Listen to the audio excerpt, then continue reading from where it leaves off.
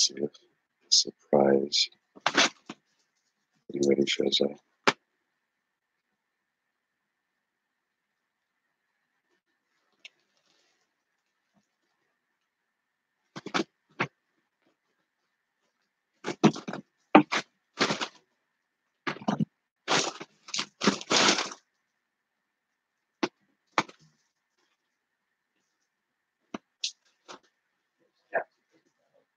Mhm.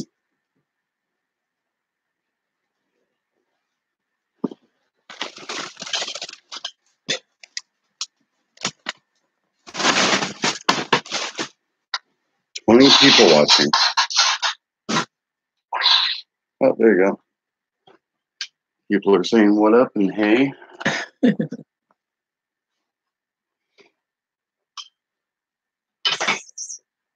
Well, hello to all of you.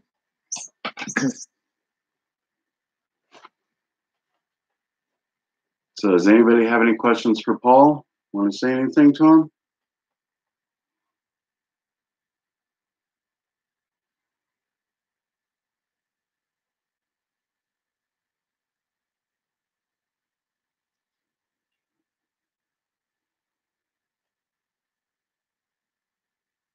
So what are we doing here today, Paul? We were going to do some pruning, but it's raining and it's, windy. and it's pretty windy. Uh, how's your health? my health is great. I don't, I don't walk well, but I have really good health. I'm really thankful. It's so good. Never to, never to be sick.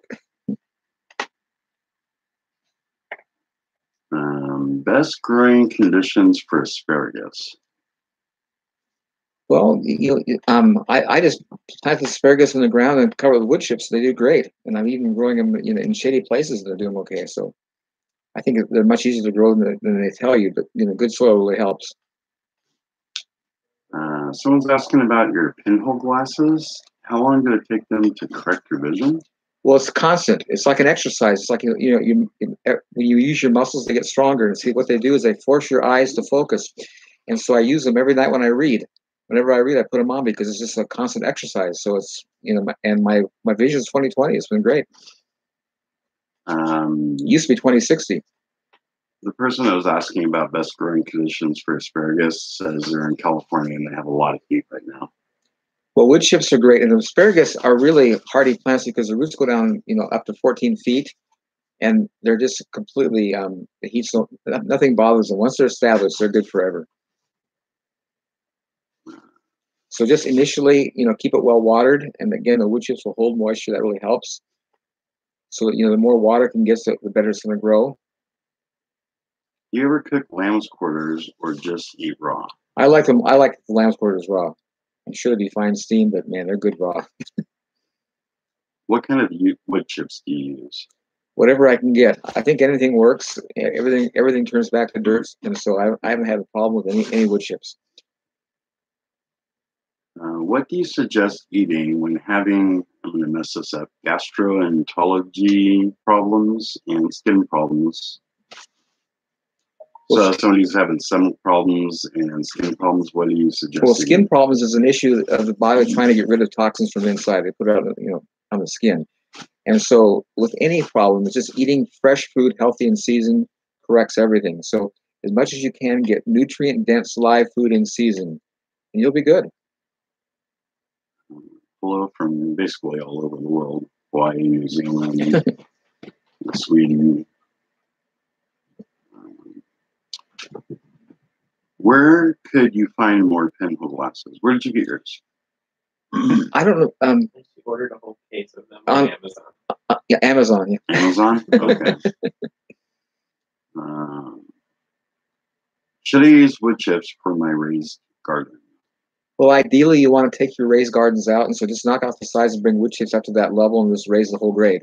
Hmm. Because you know raised beds just dry out really quick, and it's just they're not beneficial. And so you, you want to really get you know, and the wood chips will hold hold moisture very well Now, why do raised beds dry out?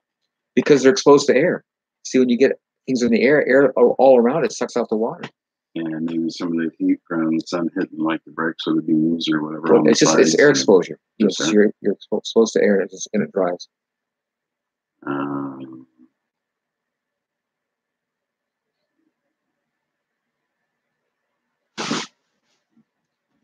So this person says, Hi, Paul. I was inspired by your well story and prayed for mine. I just got my well drill results and got 36 gallons per minute. The average for my neighbors is 13. Uh, or for my 13 neighbors is about two gallons per minute. Oh, Thanks. that's awesome. Prayer work works. That is so good. What a what a wonderful testimony. Right, having a good volume of water is such a blessing. Uh, this person just started their back to Eden garden this year and got three truckloads of wood chips down. Good. All right. Okay, so this is one that uh, we covered uh, a couple years ago, and um, obviously need to cover again. When do you think Jesus is coming back for his church? Well, I know I know exactly when he's coming back. I just don't know what what year. It's going to be on the Feast of Trumpets. I think it's very interesting how how you know it talks about he's coming back with the sound of a trumpet, and no one knows the day of the hour. That's the only um, of the feast they know don't know exactly what day it is. It can be one or two days depending on the alignment of the stars. I think it's very interesting how the wording is. No one knows the day or the hour, and so, but I'm sure it's going to be a Feast of Trumpets. I don't know. I have no idea what year, but I think it's coming up soon. I don't think it's going to be on be going on too much longer. Is there any plant in the garden that wood chips would not be good for? I haven't found anything that wood chips haven't been a you know a, and again it's the whole idea of the it's a wood chips are covering they're not really affecting the plant they're just covering the, and feeding the soil. Favorite peach varieties? well I would I like the Elberta the, the later you know the ones we have here is called frost it doesn't have any shelf life I had to get rid of it didn't didn't keep. But um the Elberta peach we had in California that was a good one and um I'm, there's probably a whole bunch of good ones out there but I, I don't know because peaches don't do well here it's not a peach country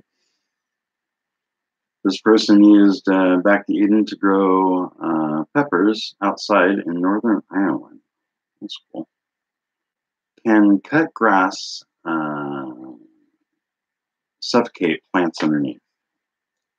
Well, if you put something, you know, heavy enough, you can suffocate anything. You know, it's just, it's just volume. But cut grass is really a good, you know, organic material to feed the soil, and it really breaks down quickly. So it's it's a nice asset to you know cover the ground lightly with. I wouldn't you know do it real thick, but just nice light, light cover. So if you take your uh, mowing, take the bag and just kind of shake it out. Yeah, just take your rake and just spread it around lightly, you know, and, and again water because it's you know you'll see this green you know fluid coming out as compost tea, and that's feeding the soil and your plants. It's, it's really good. How should I prune my three-year-old Concord grapes? Well, you want to prune everything so that you know if you're on a trellis, everything's going flat, nothing's crossing over, so things going up and down. You're just make it you know a nice flat cover so everything's exposed to sun. And I have to prune my grapes a couple times a year because they grow so well. You know, they really grow a lot. But with any kind of pruning, the whole point is is arrangement. Nothing crossing over, nothing shading, everything having exposure to light. Say uh, the compacted soil that you have on the side of your house and what you used to have out in the orchard and the garden and stuff like that. How long did it take for the wood chips to turn that compacted soil into something you can grow well? It happens immediately and just improves over time. Right away, the, the wood chips start changing that soil below it. But but it's progressive and it just gets better and better over time. But if I took wood chips and put it over top of this compacted soil on the side of your house here, it's like brick. I can't even Mhm. break it with a you know stick or If something. If you did it in the fall, I I think by seeds? spring you could plant in it. Really? So just You don't do it need a you, you don't need a again. You just need enough to cover the seed like quarter inch, so it's not, not a lot, and the roots will spread. They won't go deep; they'll just spread out. The roots break apart the soil. The, the heavy roots will, will break into it. Uh, I planted my first fruit trees and wondered if you prune all types of fruit trees the same way. I have an apple, peach, and a plum. Yeah, pruning is arrangement, everything fitting, and so every plant, the pruning principle is the same for anything, whatever it is. And so you want you know things to come up and out, you know, and and you don't want things crossing over or shading. So every part of that tree should have exposure to sunlight. Is that going to be the same with cherry trees? Because I don't think I've ever seen you prune a cherry tree. Well, the prune, the cherry tree gets pruned. It's just I got to use a ten foot ladder because cherry trees aren't dwarf. There's no such thing as a small cherry; they get big, and so you have to use a ladder. but I, I prune it the same way. Right now, right now, Nick's pruning it for me, which is great. what is the best nut tree to plant to get a good harvest within a few years? Well, I don't know. I mean, you know, we, where we live, we, we can grow walnuts and, and, and macadamians, eh, not macadamia, Hazelnuts. um, hazelnuts. Um, but depend on your location. Would depend on what types you can grow. You know, like in Texas, you can grow, you know, um, pretty much all of them. It's warm. Uh, our uh, nut tree is more of a warmer Yes. tree. Uh-huh. Okay. I've been thinking about doing some nut trees. Yeah, walnuts and and um the hazelnuts. I mean, the, the, the um, do well here. Okay, I don't understand a lot of this question, but you might. Uh, do you think that we non-Jews should only follow Noahide, Noahide laws, or all the laws given to the Hebrews and later the Jewish people? Well, if you read in Romans, Paul talks about that issue about how we, as a wild olive branch, was grafted in to the natural olive branch. We have everything to do because we're part of the main branch. We've been grafted in, and so I would I- keep all the laws. I think God didn't create laws haphazardly; they're, they're beneficial. If you read the Torah, it dealt with hygiene, sterile technique, quarantine, proper diet. I mean, the, the laws are beneficial; they work. They're not nothing's bad about them. Okay. Uh, this person's in Tacoma and will be planting apple trees soon. Is there a variety that is best for pest resistance or disease resistant in this area? yeah, Liberty is really, really great. It's very nothing, nothing bothers it. Freedom's another one. Um, Honeycrisp uh, is a really great apple. It might get a little bit of disease, but it seems to be pretty good. But you know, disease resistance has more to do with the health of the tree than the, the variety, from my experience. Because when I came, all my trees had disease issues, big time. We don't now, because my soil has improved. And so I think you should focus more on the health of the soil than as much the disease resistance of the trees. There's a new um, uh, apple variety that came out of the Tri Cities area, and it's selling like just immediately. You put it on the shelves and it's gone. I can't remember what it is, but it's a cross between two different. They came out with a brand new variety. Have you heard about that? They're, they're doing it all the time. It's just constant, you know, because they can. This this one is supposed to um, give it a longer freshness. I Shelf life. guess. Shelf life, yeah. Um, I the wife got some and we sliced them up, and I was like, well, let's just see how long this lasts before it gets. You know, you you, you cut into an apple, and after a few minutes, you start seeing that brownish. kind Mine of doesn't. nut. These things do not. Mine don't at all. Any any of them. Cosmic crisp. That's what it is. That's what, there's a guy in town that has one for me. I haven't called me. That's when we get signed. Scionwood, yeah, we'll graft it Yeah. in. Cool. That would be awesome. And it tastes really good too. I think it's a cross between a, a Liberty and a Honeycrisp or something. Something like that. Something like that. Cool. Those are those are good good varieties to cross. Back to the peoples here. Um, I lost.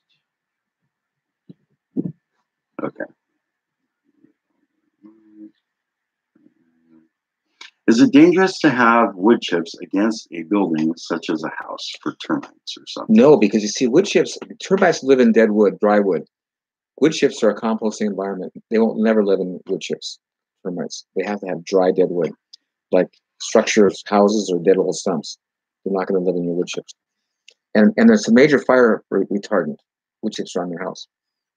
Now, over on my property, over in uh, eastern Washington, where it's desert, if I put a load of wood chips way out in the pasture somewhere in the middle of the summer, there's no moisture, and I mean they dry up pretty quick. on the Um, top, but down below they probably. but down below. Okay. So would the termites or anything be able to? Would that attract that yeah, if it's, drier if it's if, top? yeah, yeah, if it's totally dead, that's what they go into. So if you, So you wanna keep it moist. keep it Keep it moist. Okay. Um, no, the reason uh, this that other guy did the raised garden beds was that wild animals feel um, threatened. I don't know, but they eat up his garden, so he put it raised up a little bit more. Oh, what about get maybe a, a dog. or something? A a, a good dog? You know, eventually animals are going to climb. They're not going to, you know, uh, they, they're going to figure out a way to get in there. So a good dog or something to keep the animals out, maybe a fence or whatever. But Raised beds are just really labor intensive, use a ton of water. Is there anything you can do to keep ivy and thistle from going through the wood chips? No, they're hardy. You got to get the roots out. They're really tough. If I don't have a cat, how do I deal with voles? Well, you use traps. I use I I I have a different trap for voles than I do moles, but um, you know, uh, good traps really work well. And you use what, Victor traps? I use a Victor trap for the moles and and a, the old um, uh, rabbit trap, is the, the um, scissor type for the vole, voles. What's nice about the wood chips is it really works well because they make little trails in your wood chips, and you just hollow out that space in, in the trail, set the trap, and they come cruising through, and I get them all the time. This guy fair to deal with them. yeah, sorry about the video quality. We have uh, a slower internet right now. Straw and wood chips, or just straw? Well, wood chips last longer, I, and I think that they have more of the fungal, you know, fungi, fungi type qualities than, than straw does. So I prefer wood chips over, over straw myself. You need to loosen the ground before planting seeds. Yeah, you have to you have you have to have you know the ground has to have some per- permeability, you know, for roots to go into. So you want to, um, but don't do don't go deep. Just take a rake and just get a because you just planting seeds a quarter inch and the roots will eventually break break it up and they'll spread into the fine stuff. They won't you know be bothered with the hard thing. So definitely no tilling, tilling. or getting big tines in there and twisting. No, I don't. them. Again, disturbing of the soil is really counterproductive and it doesn't last. It doesn't doesn't stay undisturbed. It compacts again. Um,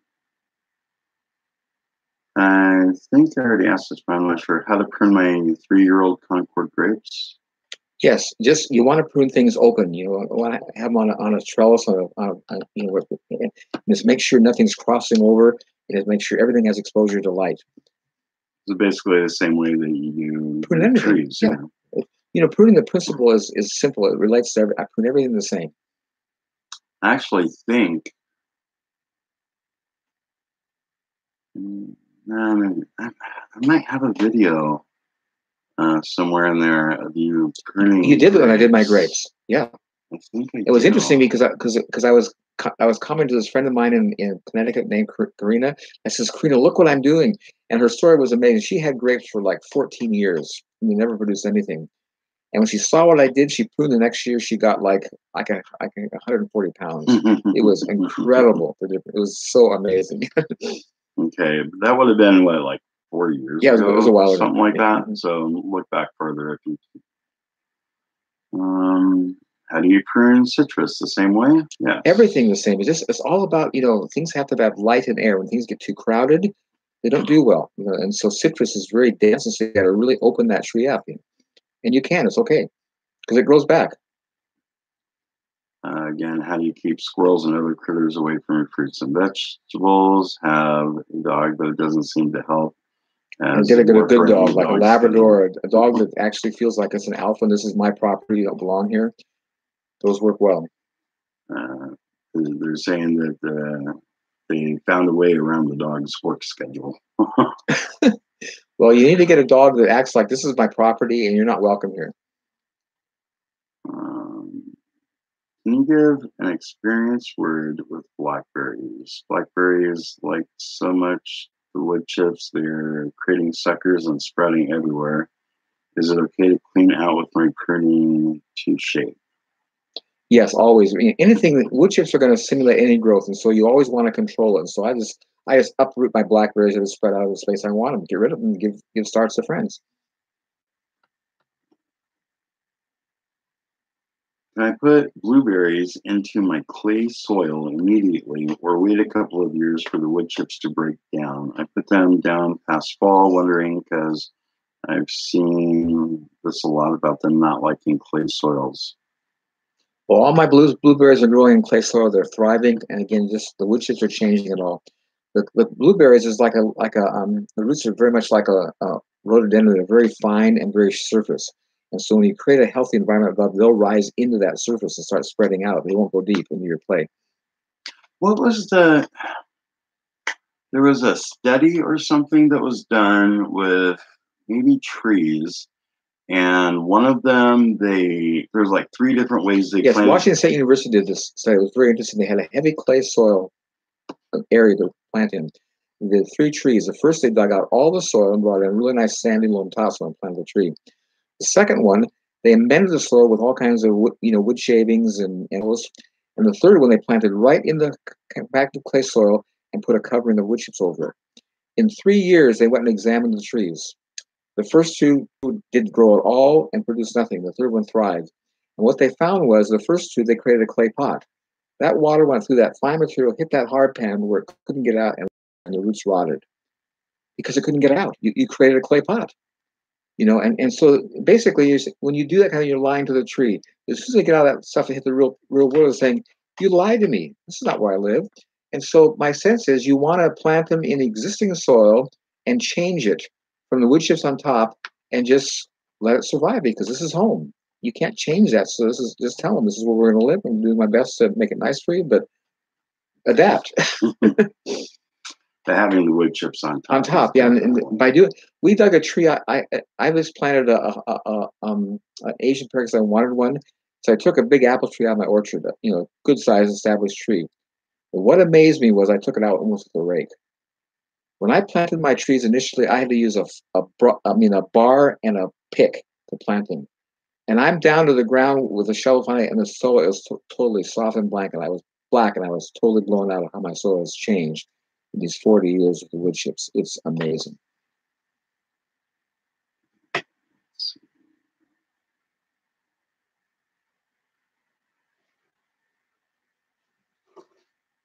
People still talking about the cosmic crisp apple. I guess you can only get that in Washington. Yeah, there's one. Daryl, um, I, I do my my tours starting in the first of um, June all the way until the end of September, every Sunday.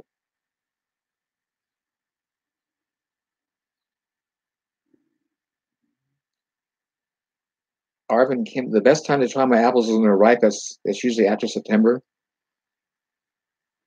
Any tips on pollination stimulations that work best? I heard insects, or I we heard on Insects Hotel that almost, or but also that flowers to grow when and where. So, is there anything you can do to help with pollination? Oh yeah, this is absolutely this is a powerful question because I had an experience here a couple of years ago that changed my life. I have I have pears. I've got three pears in my orchard, and I planted one about thirty foot away, a Bosc pear. It's been there probably like twelve years now. It's a really large tree, but it's never borne anything more than like two or three pears a year at most, and some years none. So a couple years ago, I thought, you know what? This is taking up space. I'm going to graft into it it can produce because this is not working.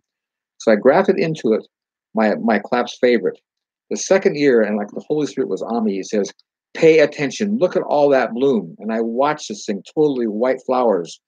That year, that tree was loaded with pears. And what I got in the spirit was having pollination is far more effective than a bee bringing it because the wind blew, it spread it everywhere. And what was totally amazing, the side of the tree that the, the graft was on produced heavy, the other side hardly anything. It was just like, whoa, it was huge. And I'm now making a point to graft into my trees as much as I can because grafting into trees, multiple varieties, is the best way to pollinate, period, across the board. And if you don't have bees, you'll still have fruit, which is wonderful. Why don't you think the Jubilee is representative of the rapture instead of the Feast of Trumpets? Well, well, um, if you if you look at again, God's really ordered, and when He came the first time, He fulfilled every single one of the Jew of the of the of the f- uh, Lord's fall spring feast. He died on Passover. Over. He was buried on the feast of unleavened bread. He arose on the feast of first fruits, and 50 days later, the feast of Pentecost, He gave the Holy Spirit. So He fulfilled significantly all the spring feasts. When He comes back, He fulfill all the fall feasts. The first of which is the feast of trumpets when He comes and returns. The second is Yom Kippur. And I think that's going to happen when they when when that Zechariah talks about when Jesus comes back and all of Israel repents and is saved in one day, I have a sense that's going to be the feast of of um, Yom Kippur. And I think the Feast of Tabernacles, which is the most festive feast of all of them, will be the Mary Supper of the Lamb in heaven. I just have that sense how it's going to finish. I don't know. That's just my feeling. What apple do you like best, Sweet 16 or Japanese Heading? Well, it depends on when they're ripe. People always ask me, "What's my favorite apple?" I says, "The last one I ate," because they're all good. they're all good, and they have qualities that none of them do. And so, whenever they show up, they're my favorite. if I think I had, if I had to have one or the other, I think I'd have the Honey Crisp because it stores longer. It has really good shelf life. Yeah, this person was binging on uh, videos that I've done with you all day, and then we popped up live. You know, oh, we're all happy. Okay, they've been wanting to ask you that blueberry question for a couple days. Let's see, would you ever try growing avocados in your garden? No, because I, I live in a place where it's very cold, and, avocados are broadleaf evergreen. They don't ever lose their leaves, and because it's a broad leaf, when it gets cold, they freeze and die. I remember in California growing up, you know, during the wintertime, you see these smudge pots going all through all the orange and and, and, and you know citrus orchards and avocado orchards because they knew if it got too cold, the, free, the trees would die. So you know, um, avocados. I love avocados. I buy them Costco. I eat them all the time, but I can't grow them here. And I think you answered this, but I was reading a different thing. I didn't get the answer. When would be the best time to visit for the tours to be able to try all the apples or a lot? At the very end, that's the the late the, the later time. That, the, the, the latter part is when I have most things coming on, where you get to really see the abundance, you know, the, the volume of what's growing here. And that would be the end September, of September. September. I used to do it in October, but my problem is, is I want to keep my apples, and everybody takes them home, Hmm. and so I've, I've I've shut it I shut it down in September because I I have a good walk-in cooler, and I like eating apples all year long. So I've had a lot of chips down since September of 2018. They're breaking down beautifully, lots of fungus, but I'm not seeing any worms. Is there something I need to do? if you want to see more worms, just put leaves down. Worms are there; they're just deep. They're not on the surface. If you dig down, you'll find them. But if you really want to see a lot of worms, just put leaves down. Leaves are amazing for bringing worms. Phenomenal. Grass clippings too, but leaves I, I, I, they seem to do the, the best. Just you know, just flat leaves, you know, on a, space. What about uh, buying some and throwing them in, or a certain type of worm that you would want to add? Well, you can always add them. You know, there's no problem. But, I, but, what I'm finding is, if you create a healthy environment, they show up. They come on their own.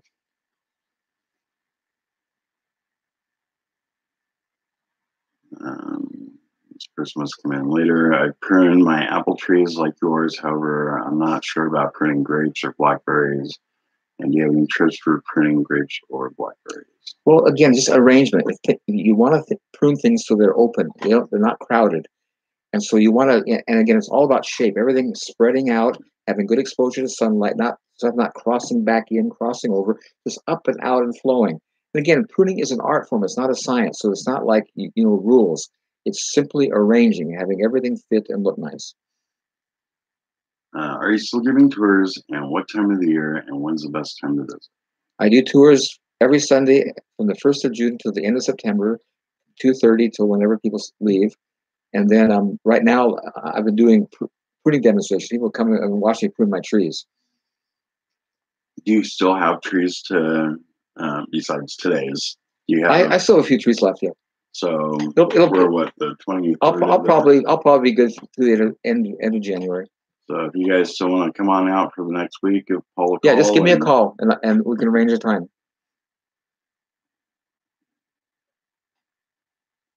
Any ideas about introducing edible mushrooms, shiitake, morel, uh, is that morel? Morels, uh, oyster, etc., into my wood chip covering? Well, I, I wanted to do that, and so I, I, I harvested some some morels. I took them my hand and I did this and I threw them, and there was this massive morels that came up next year. It was awesome. I just I mean, it's just I threw them out in the wood chips, broad just broadcasting, and a lot lot came back. Uh, for grafting, do you use a flat-sided shear? I do. It's much much nicer because it makes it makes you can really do nice edges with it. You know, that's that's all I use that shear for, is just for grafting because it's not good for pruning, but I use it for, for grafting. Is there a specific one that you use? It's got a little little green little, little yellow handle. I don't remember the name. Someone gave it to me, and it's just great for grafting. But it's, it has a little yellow handle. It's plastic, but for grafting, it's I know you're specific about your pruning uh, clippers. But that's a. Felco. My Felco eight, number eight is the finest hand pruner, but it's not great for, for grafting. 'Cause, You know, it's not doesn't come. It's a bypass. So any uh, pruners with a flat side. Yeah, not not, not a and- bypass. It's fine for We pruners. also have grafting knives work really well too. Cut to the beat. Let's see. What's Paul's thoughts on people becoming lazier and not growing gardens? Does he think intensely far, farmed fruits and vegetables are contributing to cancer rates going up because of chemicals used?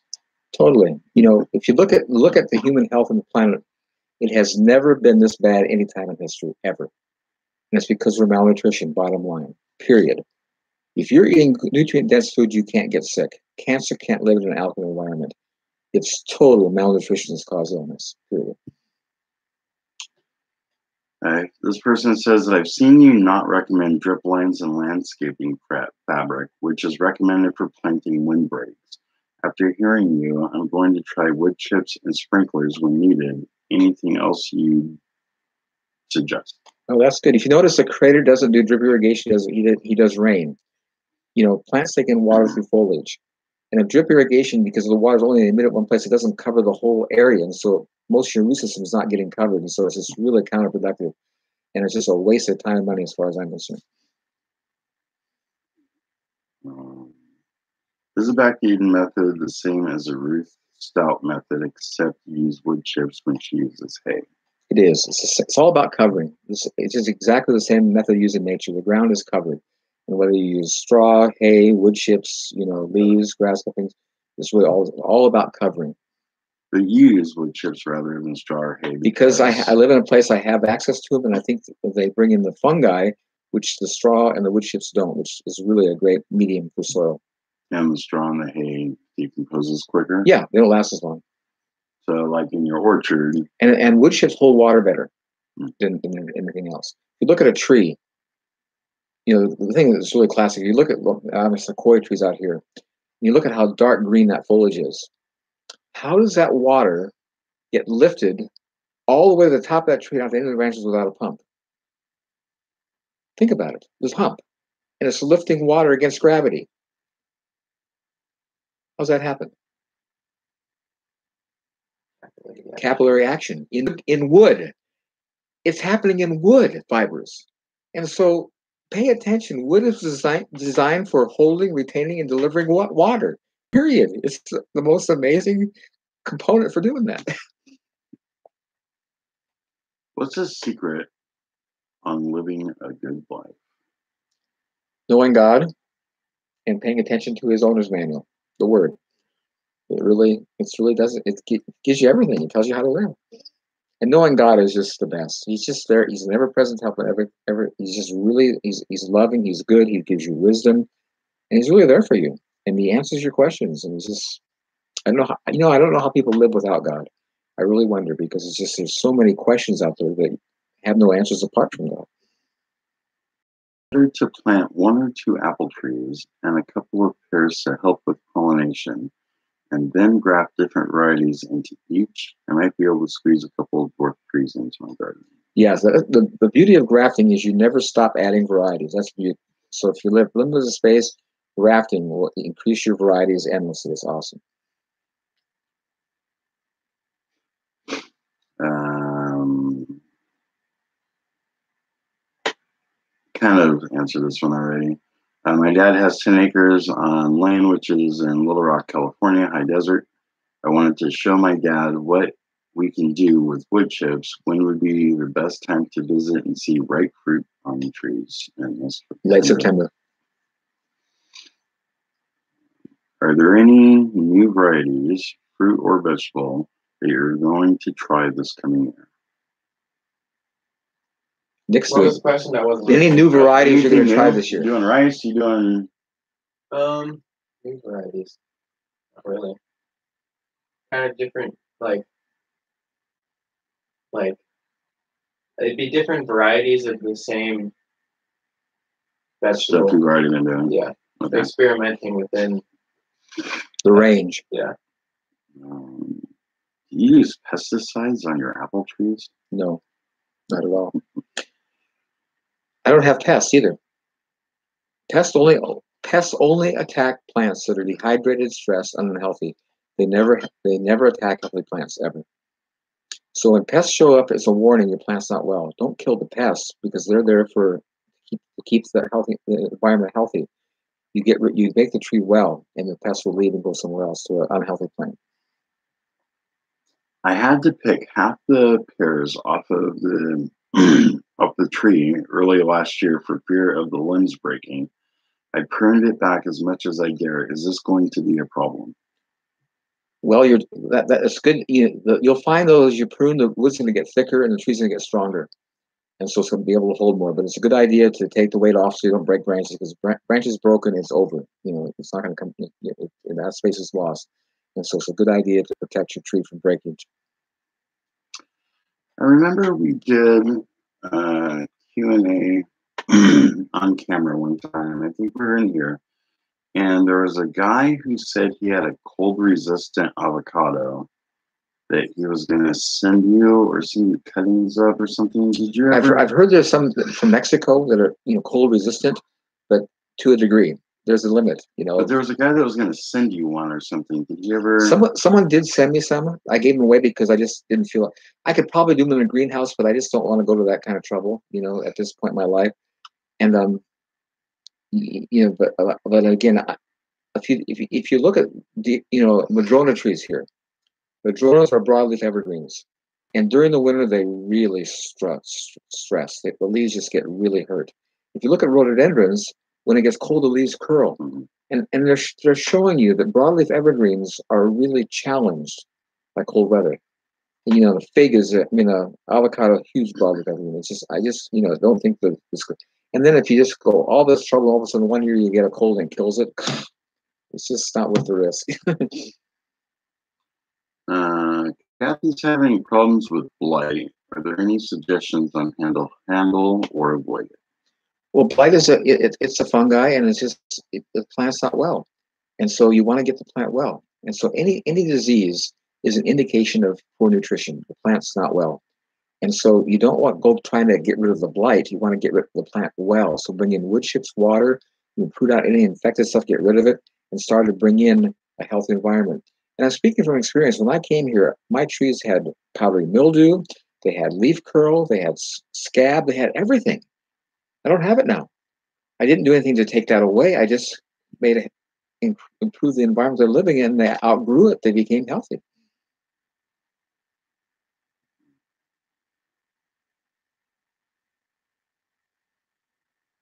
You see, treating diseases like allopathic medicine does is all you're doing is treating symptoms. You don't ever get rid of the root cause, and you'll be doing it forever. You'll never solve the problem. So you want to go after the root cause, which is malnutrition, basically. And when you get that well, all the symptoms leave. What variety of plum is in your tree? I have three varieties. There's, there's a there's a um, uh, my favorite is a, is a great big ye- called yellow egg, great big yellow one. Then I have a and I have a couple of the um, Italian prune, and I have a, a variety called um, Beauty. And those what I those are what I have. Beauty is a real early one, really nice. Um, uh, the Italian prunes do all those do really well. There's a, there's lit there's um Stanley, a whole bunch of those do excellent because I'm in a cool climate. And then that, that yellow egg is is awesome. It gets huge and it's really good. Very, very. You get wet when you eat it because it's just so full of water. Do you recommend a certain type of wood chip for putting around Japanese maples?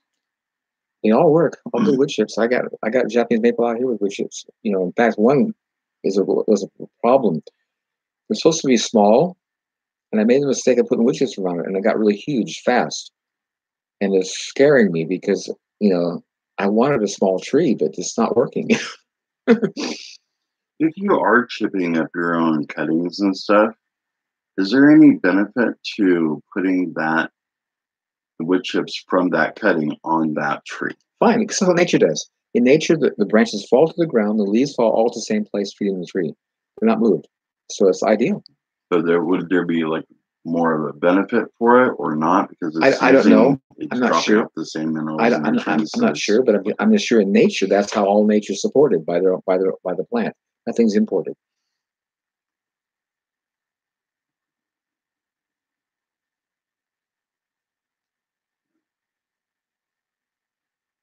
Does Paul have a Victoria plum tree, and would he like one? I don't have a Victoria plum. I'm not, not sure. I don't. I'm not aware of it. I've never heard of it. What about mulberry? Would you like one of those? Mulberry. Yeah, we've got one. I just Yeah. have to plant it. Get it planted.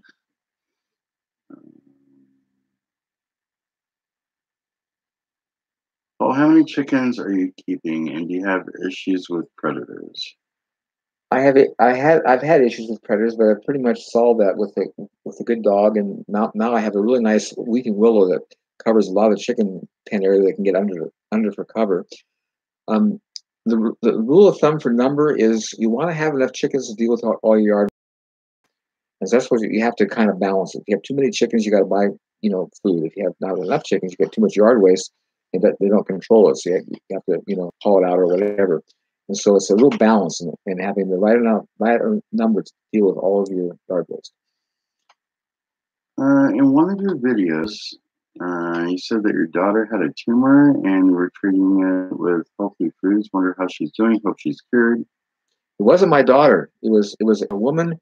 My wife was a midwife, and one of her a woman was in in, in a clinic one day, and she was saying that her her sister had a tumor on her chest. She lived in New York, and so I overheard it, and I says, you know what?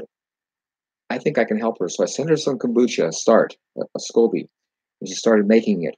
And she got on national television sharing how that tumor totally shrunk and went away, and she was totally well by doing kombucha, which is basically, you know, you're getting all these basic um, B vitamins and and digestive enzymes, you know, good gut flora that increases your digestion and really improves your body's, you know, overall health.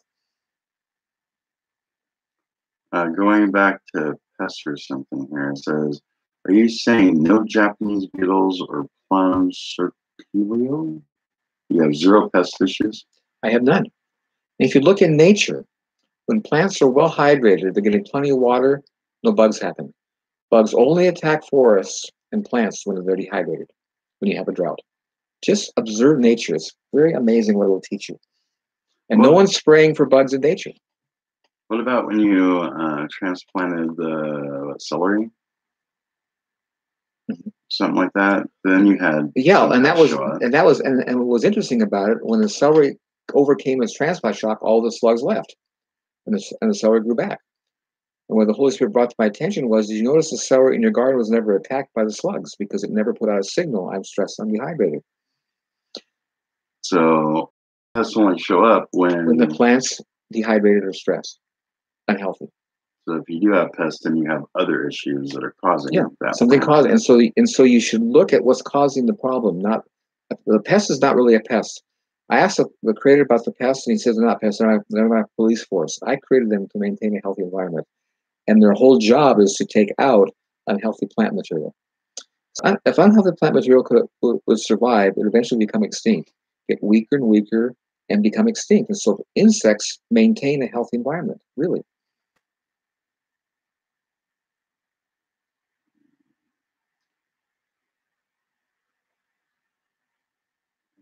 Paul, you were always mindful of God and what you say. I remember you praising the Israelis, Israelis for creating stimulating artificial seasons in their orchard and getting multiple harvests in a year. Isn't that against God's order or nature?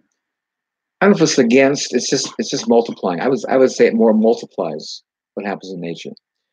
Apparently, the trees aren't being aren't being you know they're doing well. So that, so that if it was harmful, the trees would indicate this is stressful. I'm not doing well. I'm, I'm phasing out. So apparently, the trees aren't being affected negatively by that refrigeration process, and they're getting you know multiple harvests because that's just a hot climate. I think the plant itself will tell you if it's damaging, and if that's the case, then stop. But if the plant is is overcoming, going with it, then I think it's all right to to make adjustments to increase production. I I get a few people from time to time saying, well, uh, like how the wasabi, you're growing it here when it's usually supposed to grow in other places. You grow the um, uh, figs here when this isn't a fig growing climate, but you're able to do it here. Um, again, here with the Israelis um, doing the multiple um, Apple harvest. uh, apple harvest. Uh, isn't any of that going against nature, going against God's nature? Isn't that you or them or whatever trying to be better than or play God? I, I don't see this. I, I see it as being a good steward and optimizing my potential, just making it better, taking it a step beyond. I'm doing I, I'm doing no damage to my my wasabi is not damaging my environment and it's growing really well. I feel like the wasabi and the example, because those are both two different cultivars that have adapted to situations that their ancestors or weren't used to. But with the apples, like I kind of understand where these people are coming from. Like putting a tent over your orchard or whatever and refrigerating it to force two extra crops. Like that's kind of unnatural. Shouldn't the tree have time to rest? What do you think? Well, apparently, uh, you know, again, the time will Yeah. show. But if the trees, what I'm finding is, is that is is that I'm I'm growing things against nature here as far as pH and and water issues. Yeah. I'm seeing like I'm seeing this whole thing of overcoming. Overcoming is going beyond the natural. You know what I'm saying? It's abundance is beyond the natural. Yeah. And I'm seeing that as okay as long as it's not damaging. Yeah. If the plant's not being hindered by it, it's not suffering and it's thriving, then I'm thinking like this is good. Yeah. There's no in- the apples. If you're bringing in more and more nutrients to allow them to fruit. Yeah, obvious. Obviously, the thing's being supported. Yeah. You know, if it, if it- if, it, if this was harmful, the apples would just phase out. It's like Uh-huh. I'm done. You know. Yeah. But if they're thriving and doing it, then this is working. Yeah. And I don't see that as a negative. My dad's land is hard, sandy soil in a dry area. Would wood chips create new soil? It, it'll hold moisture. You see, sandy soil is basically a mineral content. That's what you know. Sand is small rock, which is good. The problem is is having air and and and water. Well, there's plenty of air in sand. And so wood chips are going to going to hold water, bring in nutrients, and totally change that sandy environment. It'll, it'll the best thing you could ever do is wood chips on sand. You'll, you'll love it. So, um, I had somebody ask me recently that they wanted to have a cabin out in the woods, a bug out location, or something like that. And they wanted to be able to go there and have food already in production. Um, are there certain uh, crops or types of uh, fruits or anything like that, barring, you know, depending on wherever they're going to live, that would uh, automatically like reseed Perennial itself, Perennial. like You want to use perennial plants. That's what they like do. They, potatoes they or can come, yeah, you have to harvest and put back, but a, but a lot of plants are perennials. That means they come back every year. Herbs do that, you know. So plant perennials, and then you'll have them forever. And then have a seed bank to where once you get there, you can start your annual production. You'll have the perennials to supply you until they're producing. Where do I get a SCOBY to start kombucha? Get on the internet. Everybody's got them, you know, and and um, that's that. yeah, That's that's the only thing I can say. You know, um, if you if you know someone that's, that's, that's making kombucha local, you can just get kombucha. You don't need a SCOBY. Kombucha itself that's not been pasteurized will produce kombucha. You don't, you don't need the SCOBY. So if nobody that's making it, just get a start from them, eight ounces, and you're good to go. Uh, this person's in Las Vegas, getting a lot of hate for wanting to start a garden. I want to grow, or I want, I'm going to be following back the in method and be diligent about watering to rebuild the soil. Any tips for desert gardening? create shade you know grow trees if you can't to create some shade that would be helpful you know so if you can grow fruit trees you know that would be ideal because they'll create some shade for the plants below so they're not going to be so stressed by all that heat Is growing moss all over the garden also a good alternative to using wood chips? moss on a healthy garden. Moss only grows in in in, in infertile environment. If you have a, a healthy environment moss won't grow there. Uh, any issues with cabbage moths? yeah they they live here fine. They don't bother my plants because i have healthy plants and they're in wood chips. And, and when i used to when i used to till my garden the cabbage would maggot cook my, my my broccoli out every year across the board when i changed the wood chips that whole problem stopped it was awesome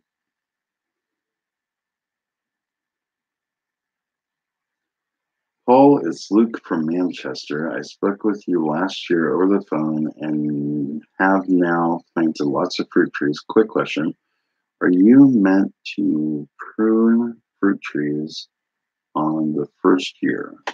Depends on how they grew and, and their condition. You know, if they're putting on a lot of growth, you know, a little pruning is is stimulating. Pruning stimulates growth, and so even a little, even cutting back like a little uh, one one uh, one nub back will stimulate more growth. So pruning will make the tree grow more.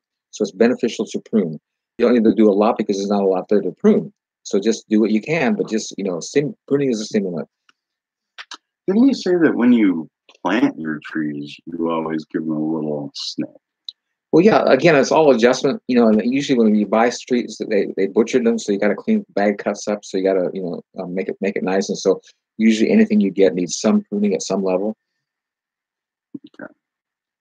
Uh, hi, Paul. Our courtyard gets very limited sunlight, where only the far side gets direct sun, and most of the space is cast in shade for the entire day. What crops do you recommend in this type of environment? Brassicas love shade. You know, um, the greens. You know, arugula, um, spinach, lettuce. You know, cilantro. They'll tolerate shade. And so there's a lot of things that prefer shade. So all again, your brassicas, kales, broccoli, all that would really like the shady, shady place. So make use of it. I remember you said that any plant or fruit you pick has 80% of the nutrients. I don't think that's what he said. I think it's metabolic properties, right? Yeah, metabolic Uh, properties. Lost in 30 minutes. In with- 10 in, in, in, in 10 minutes. With your walk-in cooler, are you able to preserve some of that? I, I'm sure I do because my apples taste great, you know, all year long. I think it's Uh, more it- towards like leafy green. leafy greens, That'll yeah. will- Like an apple can hold on to that more succulent than green. You'll see, like even the in fact, I had people, I had a guy come here. I, I gave him a stalk of celery, and in 30 minutes he was talking to me. The whole thing wilted over his arm. Celery's stiff because it was, you know, it's a green and it was uprooted and immediately started dying. Where, where fruits have a tendency to last longer. They're just, you know, how they're made. Uh, thank you so much, Paul. You brought me to natural gardening and you brought me to God. Uh, many love to you. I love you, your melody, and wish you well. Thank you so much. I appreciate your thank your, your gratitude and your wonderful testimony. Um, when do you prune new trees? I prune my trees when it's convenient, which is December, January. There's no garden to take care of, no lawn to mow, and all the leaves are out. So it's very convenient. so it's just, I'm, I'm seeing more and more in life. As you get older, convenience makes more and more sense. And just learning to, to do more and more things when it's convenient. Don't make it hard. now, all summer long, though, I plant trees. Like in the mm-hmm. center where all those little suckers come I don't want, I go out there in the, in the summer with my hand, rub them all off. It's like I just stroke my trees because I because those will, are never any of any benefit. So I get rid of them up front. I don't put up with those. So that happens all year long. Oh, we got a gotcha here. What about the moss in the woods? Is the soil there bad too? And what about It's moisture and shade. In the moss? You know, the, roots. in the in, the- in the rainforest, you know, it's all shade. You know, and, and so the moss is it's not growing in the in the in the wet. It's growing on branches and you know in the air. Uh, let's see.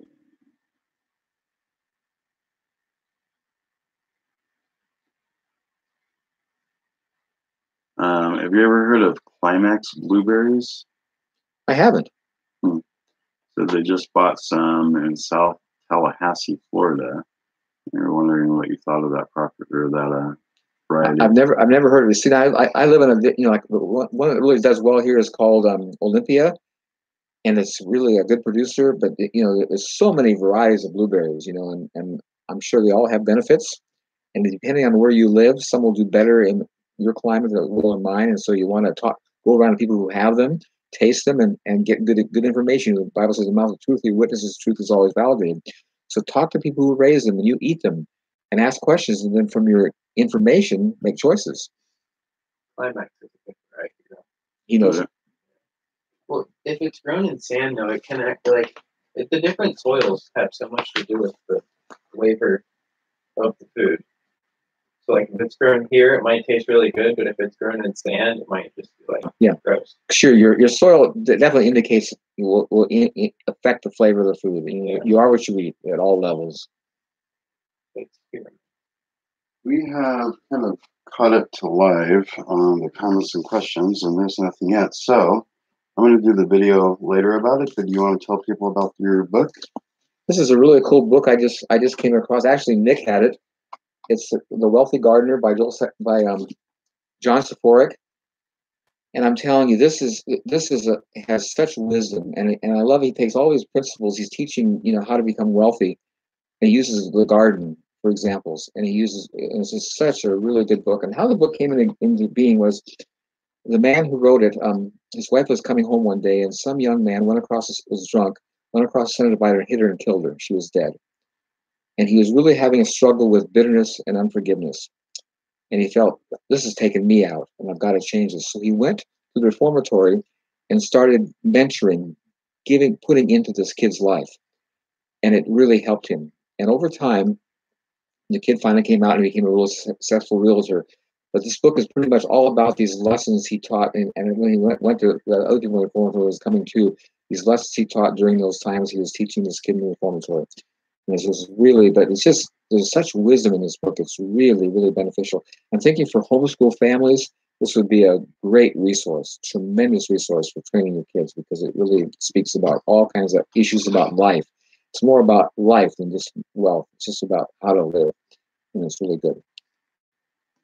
You can get it at Amazon. Let's get a nice little reflection. Let's see. Um,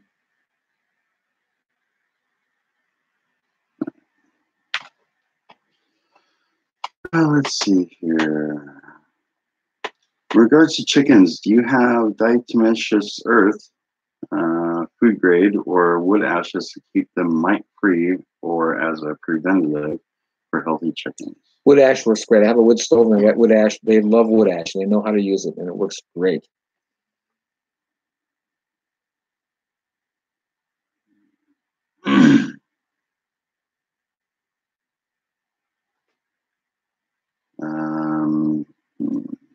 Asked a few questions. I wonder if I got this one or not.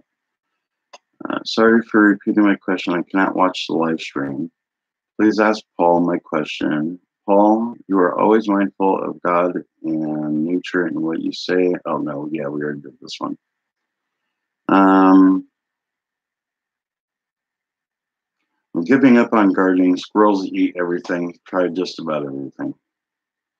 I'm sorry because you need to have good food. So I, I'm telling you, a good dog, a good Labrador dog, outside, will solve that problem. Period. Because I, I'm speaking from experience. Since your wife is a midwife, you'd know the answer. Is it okay to place placenta in the garden? Want to plant a tree on top of it? Placenta is good anywhere you put it. It's even good to eat. You know, it sounds gross, but um, I remember a woman was re- really had um, serious blood issue, and Carol had her eat, the, placenta, and it really brought her blood count up. Amazing. It was. I, I was at the house when it happened. It was phenomenal how I watched it work.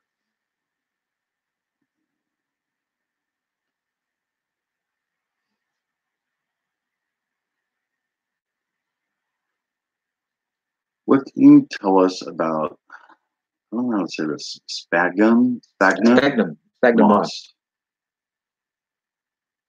Any experience with it? Um, it's.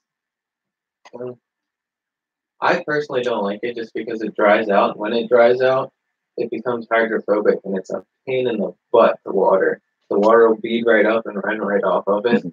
I like coconut. Doesn't doesn't hold water. I mean, like, it's good for. I don't know. It's good as a a mulch, depending on where you live. Like, if you're up north or wherever there's sphagnum peat bogs or whatever, um, then use it because it's a source that grows back and you can harvest it and it's great for livestock bedding and stuff like that. But But not for don't know if plants. If you look, you look where peat bogs grow. There's nothing else growing there. Yeah. It's pretty. But- it's sterile. and because of the fact that it's sterile and it's antibacterial and everything, it's incredible for bedding. So when you harvest the actual sphagnum, dry it out, put it in your chicken coop or in the barn or whatever for the cows and horses all winter, then harvest that, all their manure after Then you got a good deal. filled it up, compost it, and then that. That's incredible. But for like seed starting and putting into like as a compost for your garden or whatever, I'd probably go with coconut coir over sphagnum, just because of the watering problems you can run into. I was thinking about picking up a bunch of Christmas trees and putting them through the wood chipper because it's hard to get wood chips sent to us. Do I need to be worried if the trees have been sprayed before? No, they, they- don't spray um, Christmas trees. You're fine. Christmas trees would be great, great, great wood chips. Um, I noticed on the way up here there is a few logs in the middle of the road, which means there's a couple trees that got pulled and Wind. cut up because of the wind. Is there any uh, worry about using any trees that have been sprayed or treated or anything like that? Well, Roundup's pretty pretty nasty. I don't, usually don't spray trees with that, but um, uh, I, I I haven't I haven't had any. I, I get trees. Yeah, I get you know chips from all kinds of tree service. I've never had any problems, so I don't think that the disease. the strawberries? What's that? The strawberries. But that that was. I, who knows what was it? I don't think it was. Uh, you know, they, they bring in grass clippings and stuff all mixed in. So I think it's probably in grass clippings. Ra- The you know the the, the, the herbicide because they usually aren't spraying trees with herbicides. You know? Uh-huh. Do you have any experience with wild hogs and how to keep them away? Well, what? Hogs. No, Down south, they have I don't. I, just I run don't have wild. wild. I don't have wild hogs. Yeah, we We don't have have them up here. We just got bears. Yeah. Nick says you got to shoot them. They you really do. Just, just go there and base it. It shouldn't be there. Um, starting back to Eden Garden with a living fence of blackberries and rugosa roses. Mhm. While I'm waiting for the wood chips, any other projects to support a large garden sized plot to get started? So while you're waiting for the wood chips, is there anything you can do? Well, grass clippings and leaves. You know, just any any good covers, straw. You know, uh, hay. Hay. Problem with hay might have seed in it, so have a lot of grass is coming up. But uh, any organic material, you know, to cover the ground is great. I threw about six to eight inches of wood chips in my chicken run, and that's pretty well compacted, and the chickens will not scratch or stir it up. Start th- start throwing greens in there. You know, live food. They'll, they'll, they'll start messing it up. They can they can you know that'll that'll, that'll motivate them to dig. Uh, going back to the one about the people that had the garden space that was uh, shaded most of the day, anything with like reflecting light or heat that they could do? I don't know. Maybe. Like put mirrors up or something Well, to yeah, or reflect the you know, sunlight or- back or- or- down into yeah, the. you, you know, like I, I use my tomatoes. I have you know metal sheets, and that reflects heat to the back. You know, the north side of it doesn't get sun. You know, so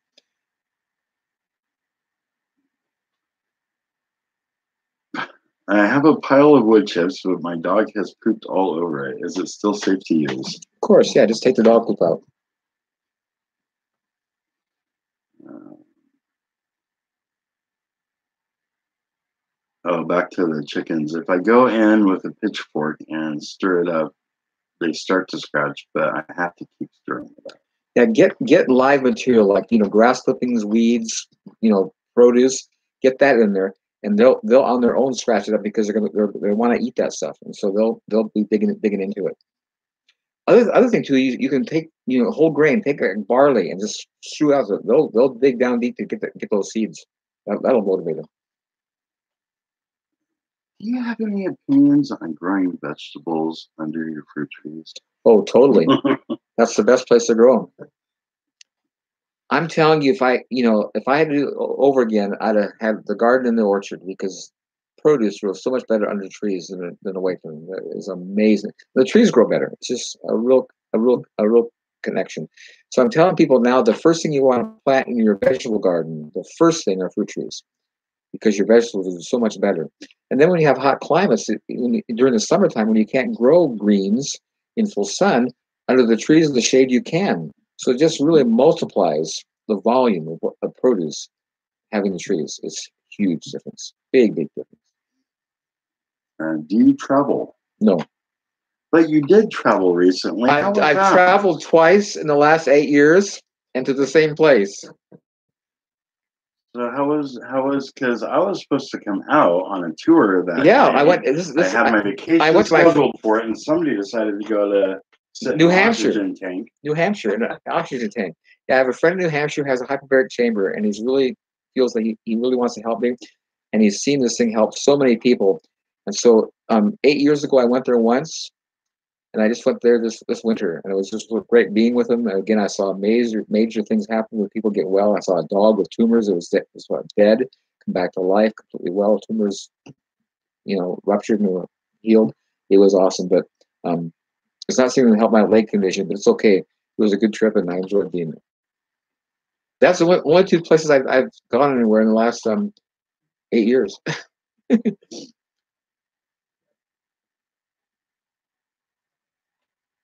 Um.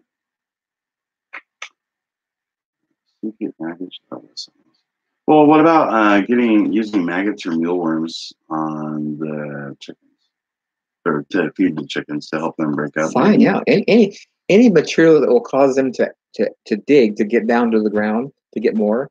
Like I say, you know, you can throw like I said, grain will really work great. They'll they'll excavate that amazing to get all those little um you know, grain grain seeds.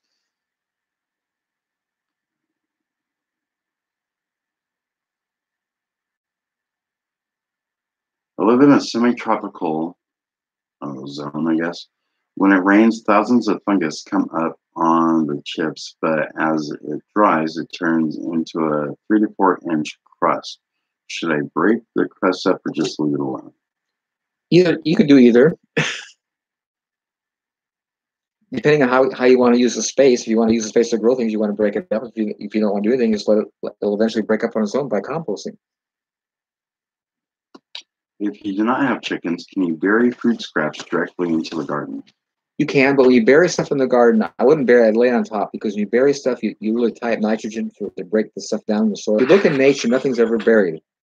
It's always laid on top of the soil. And so all that stuff, just throw it out in your garden. And if you don't like looking at it, then put wood chips over the top of it and bury it. You know, wood chips. But again, I never would dig anything into the soil. Um, is there direct contact information for Carol? Uh, calling the same number you call for Paul. No, Carol. Carol has a leave Carol. Ha- message? if you go to the website, look up Carol Gautschi. She has a web. She has a web page. You can access her on the on the internet. There's her own webpage. Yeah. She has Facebook. She has webpage too. It's does um, It's about for midwifery. It's classical midwifery or gentlebirths.com or Gentle dot .net or something like that. Uh, we'll try to find it, put a link somewhere. Also, um, I know she has YouTube. Does she? I, Yeah. I think I, I don't I know. had no idea. I think she does have a YouTube that I've I watched a couple of videos on there for. oh, really? Maybe, maybe somebody has one for her, but I think she has one. Or she'll post YouTube videos. I think she she'll post them on her website for people to watch because Oh they were God, they were yeah. good. You know. We'll try to find you some. Yeah. Contact info. Turn Um, this light on. Try and get the glare. Oh, see, maybe it that was li- fun before. That light. Oh, it? Oh, this is really. Yeah. The word's kind of lagging out here, so that's what I was asking you. What did you do? Uh, and I said it's kind of lagging out, so that's what I was asking you. Cut the light. Oh, Um, I live in a small lot in a subdivision about 3,300 feet in subdivision Tucson area. Tucson, Arizona. Okay.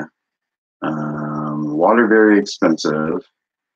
Uh, Ilpo bonsai pines. Uh, four stone trees, one fruit grape, one lemongrass, aloe vera, grass, windy. No grass, windy. I don't know if there's a question in there. Well, oh, freezing sometimes, lots of heat, three, four times a year. Uh, how to grow better fruit and veggies here. So very little water, a lot of heat, uh, no grass, and it's windy. What So- can we do? Get covering. Whatever material you have in your area they can chip up, you know, put on the ground. You want to, you got to cover the ground. That's why deserts become deserts. The cover is taken off. You know, it's just it's, it's so simple. You got a covering. You know, every living organ has a covering. When you take covering off of something, it dies. Um, also covering in uh, deserty, rocky kind of area could be rocks too, right? Rocks- rocks make a great cover. Japanese With the, Yeah, rocks make a great cover, and rocks release minerals. Rocks are really good for the soil. In my in my crushed rock driveway, the weeds pull so easy. They're so healthy because it's nutrient dense with minerals.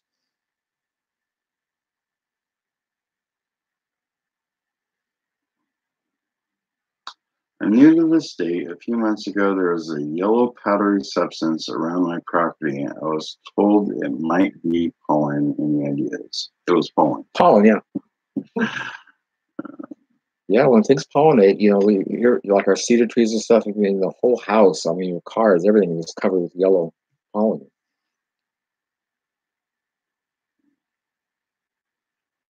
Any suggestions on spreading mushroom spores?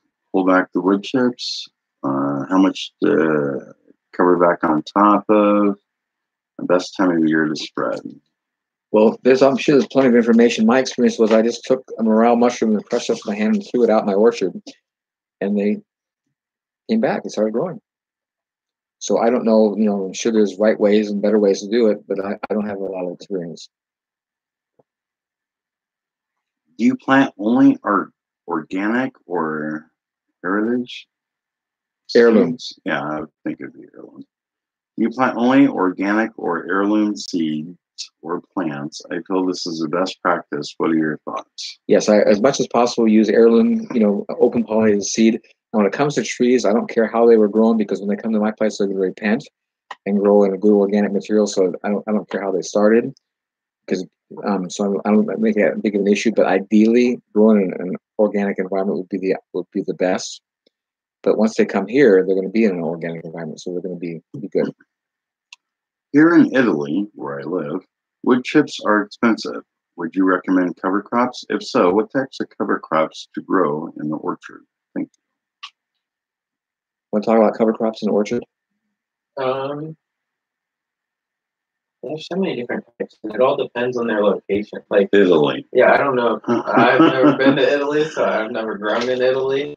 So I don't know what, Well, you know, like like Just- you know, clover clovers are low growing. They're nitrogen fixing. You know, um, but it's a perennial, and if you ever want to plant vegetables, it's a pain to get rid, get rid of. Yeah. So I do stuff that would grow for the season, and then you can take a scythe and cut it back and mulch, or you can continually build your soil.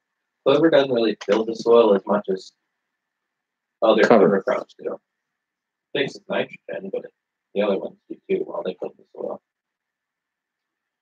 I live in Wisconsin and have a backyard garden. I'm having problems with ants in the wood chips. Not sure if it matters if there's ants in the wood chips. It doesn't. Ants aren't hurting anything. If you look at, they're not they're not they're eating any plant. They're just present. They're really no uh, no damage. It's just an aesthetic thing to you. And so just um, don't don't worry about it. They're fine. I thought that's all the ants ate was plants. On, on my trees, you know, oh. the- you know, my, my they're climbing up and down my apple trees. They don't bother anything though. Got it. Does Paul think it's a good idea to grow microgreens in compost wood chips inside a microgreen tray? Here's a microgreen guy. I probably wouldn't, just because there is still going to, well, if you're doing it inside, one, you're bringing foreign material from outside inside to a sterile environment, so you're going to get mold and like fungus start growing inside, and that's going to contaminate your microgreens. So I wouldn't. Plus, you've got parts of wood chips, and when you cut the microgreens, you've got to be close to the soil level in your tray. So it's just going to be, it'll be messy. Can you speak of greening of citrus trees? Better to burn, not chip, and stop spreading. What what kind of trees? It's trees. Greening of citrus trees. Is it better to burn and not chip to stop spreading? I don't know. Sheena, I need more info on that. I don't know what you're talking about. Well, if you got a disease issue, burning su- sure solves it. That that, that really that totally takes care of the, the disease issue. So burning is effective. Oh, I think they might have been talking about somebody else. They might have been answering somebody else's thing earlier. Uh, hey, Paul, uh, did you manage to look up Tim Loud, the healer from Washington? You know, I don't know. Um, there's a so many people call me and tell me that uh, I lose track of, of all the people I've I've, got, I've contacted doctors. I'm not I'm not sure. I'm sorry. People are always mentioning on here, you should try this method. Ask Paul if he's done this. Ask Paul to watch this video and talk to this guy about how to heal, help, fix whatever is ails you. You've done it all, right? Much as yeah, a lot. I've done a lot, and I, and I, this has been going on for for um thirty um let's see forty years now. In forty years, I've been uh, have, have been affected by this, and so it's not like you know. And I've been to multiple doctors and chiropractors, and just like this is across the board everywhere, and no one has been able to do anything. Well, they're suggesting this Tim Loud guy, and he's a healer from Washington. Apparently, he does wonders. Uh, also, my or in my garden, whenever it rains, tons of mushrooms pop up out of the wood chips. Is this a good thing? Yeah, so in the you know mushrooms are the flowers of fungi basically. They're they're, they're fungi flowers. So basically, saying, fungi's here. It's good, you know. And and um, if, if they bother you, just just just knock them over. Let them, let them compost. You know. Um, but they're not going to hurt anything, and they're just a good indicator you have a, fun, a good fungal environment. And breaking down all the wood chips Yeah. that are there. Right. That's what they do. That's their process of you know turning those wood chips back into the soil. Uh, okay, back to microgreens. So, what would be best to grow microgreens inside in a microgreen tray indoors? I'm just I'm telling him now a message. Okay. He follows me on Instagram. Get a hold of Nick on that on Instagram and message him, and he'll talk to you about microgreens all you want. Um, greening is a bug that burrows in and prevents nutrients from getting to fruit, so it is deformed and bitter. Yes, so burning is would be a great solution. Um, let's see. How old was Paul when he moved to Washington? I was uh, 30 years old.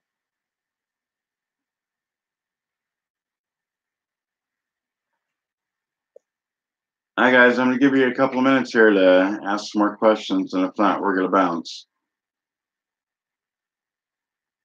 Paul, for the pinhole glasses, is there a particular place to buy it from, or can I buy it from any online? A- any online or Amazon, I think they're all the same. They're not, there's not, a lot- not a lot of variety. How many garden tools does Paul have? I have a rake and asparagus knife. I have a flat shovel for moving um, wood chips to the wheelbarrow. But that's pretty much You it. have a wheelbarrow. I have a wheelbarrow. But that's You it. have your printing sign, printing Um, uh, uh, printer, yeah, hand pruners. a rake. A rake. That's what I do almost everything with. The rake is the most commonly used tool. It's so nice.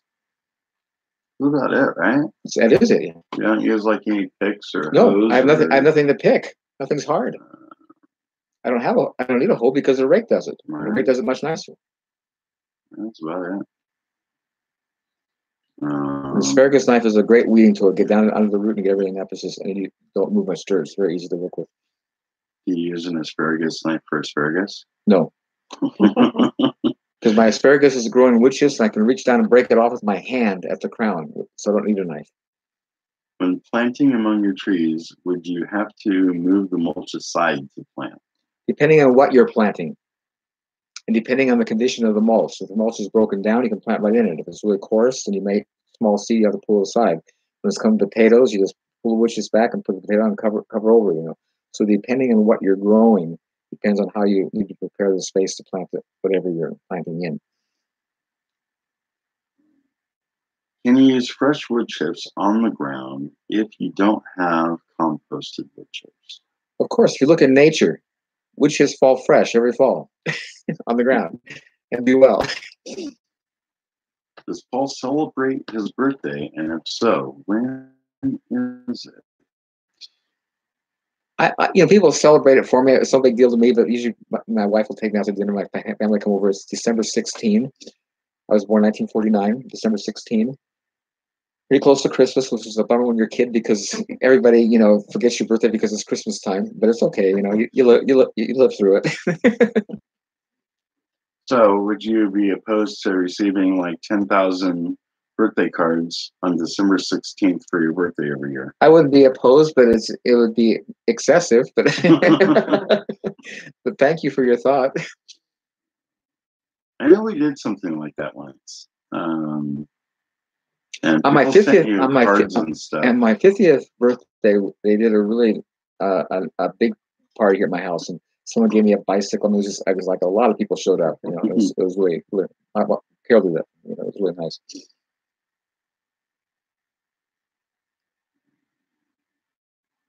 I want to plant. I want to plant some plum trees. How far apart should they be? Plums, I would go minimum if they're semi, if they're dwarf trees. That's that's critical. There's there's dwarf, there's semi-dwarf, and there's standard. All meaning different spaces. Dwarf trees, 18 feet minimum. Semi-dwarf, I'd go like 25. Standard, maybe maybe 30 because they're going to get huge. And that's that's the challenge you have with good soil, is that the people growing them never planted in good soil, so they tell you to plant them a lot closer. But I'm just telling you, dwarf trees planted 10, 12 feet, apart will never make it. They'll get too tight. So you gotta, I would go wider than shorter because when they get big, you don't want them smashed together. You don't want to have to remove them. So give yourself plenty of room. When beginning a Back to Eden garden, why don't you recommend tilling just the very first time? I've been very inspired by your testimony. Here's why. In the soil, you have hundreds of living organisms who all have their homes, have their babies, and live there. When you till, you completely disrupt and destroy that healthy environment. It's the most toxic thing you could do to soil. It's like someone coming into your house and just tearing it to shreds and say, "Oh, your house isn't good, so we'll make it nicer." Well, in the meantime, it's still a house. It's working. You can improve it over time with remodeling, but don't just shred it, tear it down, because then I have no house. What are your thoughts on epidemics of sudden oak death and the pathogens in general? Why do you think it's so rampant? I don't know what it is. I don't know. I don't know what it is. I'm not, I'm not familiar with it. Have you heard uh, about the Japanese farmer? Uh, I always mess this up. Masanobu. Yes, uh, he wrote the book One Straw. Revolution. I'm, I'm aware of him. He's an awesome guy. What do you think about One Straw Revolution? I think it's great. He gets it. It's all about covering. And if you go back to what he's saying, it's all about covering. He uses straw because that's what he had. But it's all about covering, and he totally gets it. Would it be possible to graft in a fruit tree in the middle of the summer, like a branch you cut in July and graft in immediately? It might be possible. I question whether it'll survive because it's going to dry out too quick. You see, the, the foliage is pulling moisture out of the wood, and there's nothing there because when you, you cut it off, it's separate. And so there's, I think, I think, I, I doubt it would survive. You, you need to do, do it in a dormant state, you know, or just Too stressed. stress. Yeah, I, I, I think it'd make it. On the other hand, you can take, you know, shoots, you know, and, and stick in the ground and get willow bark, you know, and make tea out of it and, and try to encourage root development coming off the stem. And that might work. You might, you know, leaves will fall off, but um, I've done it with figs. Figs, figs propagate that way. And so, uh, but grafting, I think, is real critical to do dur- during the dormant season. Or just as, the or just as the sap's coming back in, you can plug in, but um, not during the, not during the summer when it's full leaf. I think this next guy here messed up just a little bit. New gardener, cut and chipped apple tree, tilled chips into soil. Will bare garden dirt be ready to plant in spring? I kind of feel like that's a troll. But let's say it's not. Yeah. What if somebody did that? your your your soil's gonna be highly stressed in spring because Uh-huh. it's trying to break up all that stuff you put into it, and your plants will be yellow big time. They're So not- what would uh what could you do to fix that? you, then you plant in it, and you get on top of the soil blood meal, some more good organic material to feed the soil and bring in the nitrogen because it's going to be really stressed, and so you're going to have to supplement, you know, fish emulsion, uh, blood meal, some good nitrogen pro- product to put nitrogen back in the soil because you stress it big time. And start that right now because Yeah. Because the ground's depleted, you know, and, and while it's just breaking down, it's going to be depleted. Also, what about putting like you're you guys are saying like the the greens on top of Yeah, it right that- that- now? that- that's- while that's gonna put nitrogen. Yeah. Let's see. Hi, Paul. What do you recommend for uh, seed companies, nursery companies, and varieties of chicken and place to purchase chicks? So, seed companies. Seed companies is um, Fedco and Johnny's Seeds. They're both in Maine. Those are really good seed companies. nurseries. Nurseries, I don't know nurseries um, because they're all over the world in different places, and where you live is local, and I don't, I'm not there, kind of a thing. But for you would be Um, Burnt Ridge. Burnt Ridge is great here in Washington State. Burnt Ridge is really great for um, um fruit trees and berries and stuff. Uh, varieties of chickens and place to purchase chickens. The varieties of chickens is depending on what you want, but the best place to purchase them is Murray Murray Murray, Murray Hatchery in Iowa. And if you call them, they'll send you a catalog. The catalog is amazing. They have the most incredible variety of chickens. They'll give you descriptions, and they're really a, that that catalog is a great source to determine what you want because they tell you everything. And that was Murray. Mc- Murray McMurray Hatchery, and it's a family-run business for over almost 100 years now. And what I love about them, if you don't want to vaccinate your chickens, they won't. They won't. You can choose not to, and they won't vaccinate them, which is awesome. Mm. Nick, did you do a video about colloidal silver with Colloidal Paul? silver. Um, Did you have you done that? I don't think we did. Uh, somebody asked me to do one. Maybe that. I did. I might have done it. I never I, I think. I think it someone. Someone. Someone's done. it. I can't remember who, but I think I've done it on a Me and video. you did a video to send to my mom that one time, but I don't. I don't think Okay. I ever posted anything. Uh, I think I saw something on your thing with with doing it. I'm not sure about it. And I know that we've seen the kombucha on yours. Yeah. Let's see. Uh, December 16th, folks, let's get some reminders to send Paul card. uh, how often do you do live chats? I do them very rarely, but Nick does them about once a month on his channel. Um, I've heard Paul talk, speak about not going to Okay, so um, they pretty talked about not vac- vaccinating and doing homeschool, two separate topics. Do you have any uh, more information on, say, anti-vaccine or doing homeschool? Carol, Carol, if you get a hold of Carol, she's got all kinds of videos. I mean, the stuff is, it, the information is totally rampant now. Vaccines are toxic, period, period. You know, and, uh, and homeschooling, my sense is, is that the whole pro- the whole process of schooling is spoken of in the Bible, in, in the first chapter of Psalms, and it says, "Blessed is the man that walketh not in the counsel of God." That's public school. Or sits and see the scornful. That's higher education. And it's basically saying, don't go there. It's not beneficial. But instead, if you go into God's word and you meditate that his results, you'll be a tree planted by the rivers of water, that bears fruit his, his fruit in season, his leaf also shall not wither, and whatever he does will prosper. I'm telling you, God's word is the most amazing source for education. There's nothing it doesn't encounter, and by adhering to it, you're going to succeed. And I'll give you a, a classic example.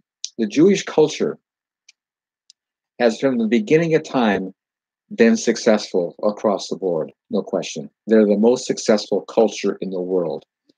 And there's a reason for that. They have the Torah, God's word, and they abide by that in their culture. And every Shabbat, every Sabbath, the Jewish family gets together. The husband blesses his wife, she blesses her husband, they bless their children. And being ex- exposed to a blessing every week impacts your future huge. And then they have the Torah as a background. How to how to eat, how to you know, take care of yourself. Good basic principles in life, and they're just successful because of their culture, which all all comes back to God's word.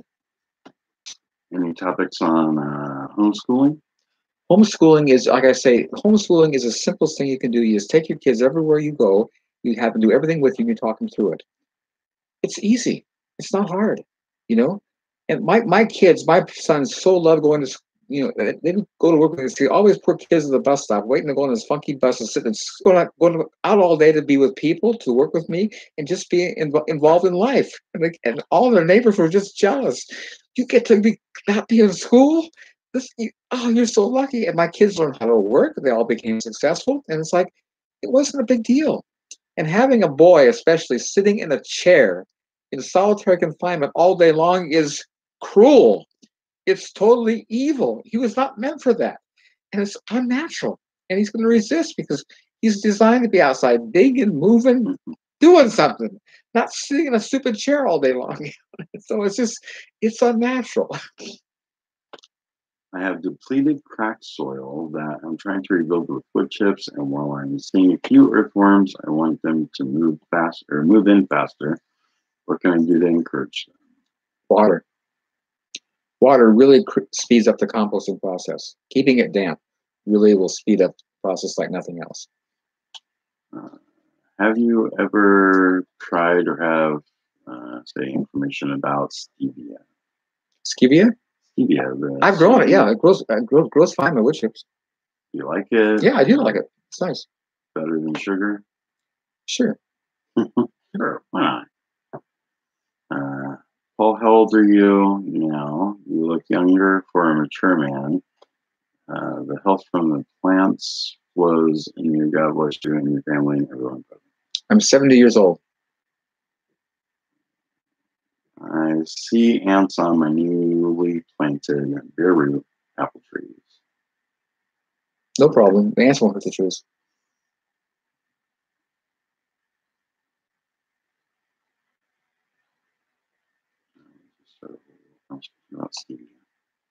Uh, I put in four inch layer of wood chips over parts of my lawn in the fall. Can I grow annuals in the spring if I put in a thin layer of compost on top of it? Any better way to do it? I think four inches of wood chips in the fall, the grass will go through it this spring. So you need to, you may need to in, you raise the grade, put more wood chips in, and then um dig down like in the summer when you start coming into the grass being dead, good soil, plant in it. But I th- I have a sense if you only did four inches, come spring, the grass is going to come shoot through saying, "Wow, thanks for feeding me. That was really great." Now, on the other hand, if you want a nice green lawn, put in four inches of wood Not the chips. four down. inches, like you know, an inch, because the four inches is going to take a lot to come through. But an inch of wood chips really make your lawn nice. And do it in the fall, you know, so you're not sucking up more, and then uh, all winter long you can feed that feed that soil. Fall is the best time to do any application of anything because that's when the crater does it. Uh, when a new video with pruning Paul's trees later today. Well, it will be the filming of it. When I get around to editing it, will be when it's posted. Um, so when you bless your family, how does that work on the Sabbath? Is it as simple as a compliment, an act of service, or praying over them? all of those. And anytime, and you, all, all during the day, anytime your kid does something good, compliment him, commend him. You know, affirmation is powerful. You know, and again, what uh, self-image is so built by affirmation, and so anytime you can, any day, when anybody in your family does something well, make a big deal. Thank you. That was good. You did that well. That blessed me. That's huge. Have you ever grown nut trees here? I have I have a I- have a um a little it's, it's a um the corkscrew filbert is growing fine. It's it's, it's I don't have nothing to pollinate, so I don't get any fruit, but it's growing well.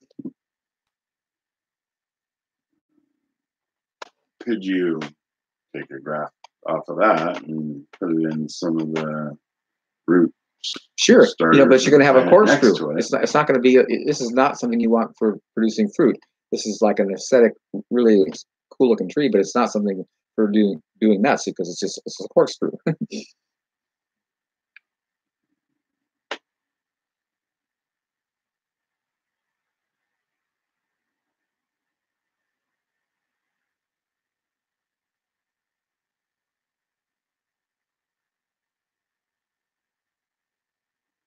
How Paul kern currant bush. Would it be possible to do a video about it?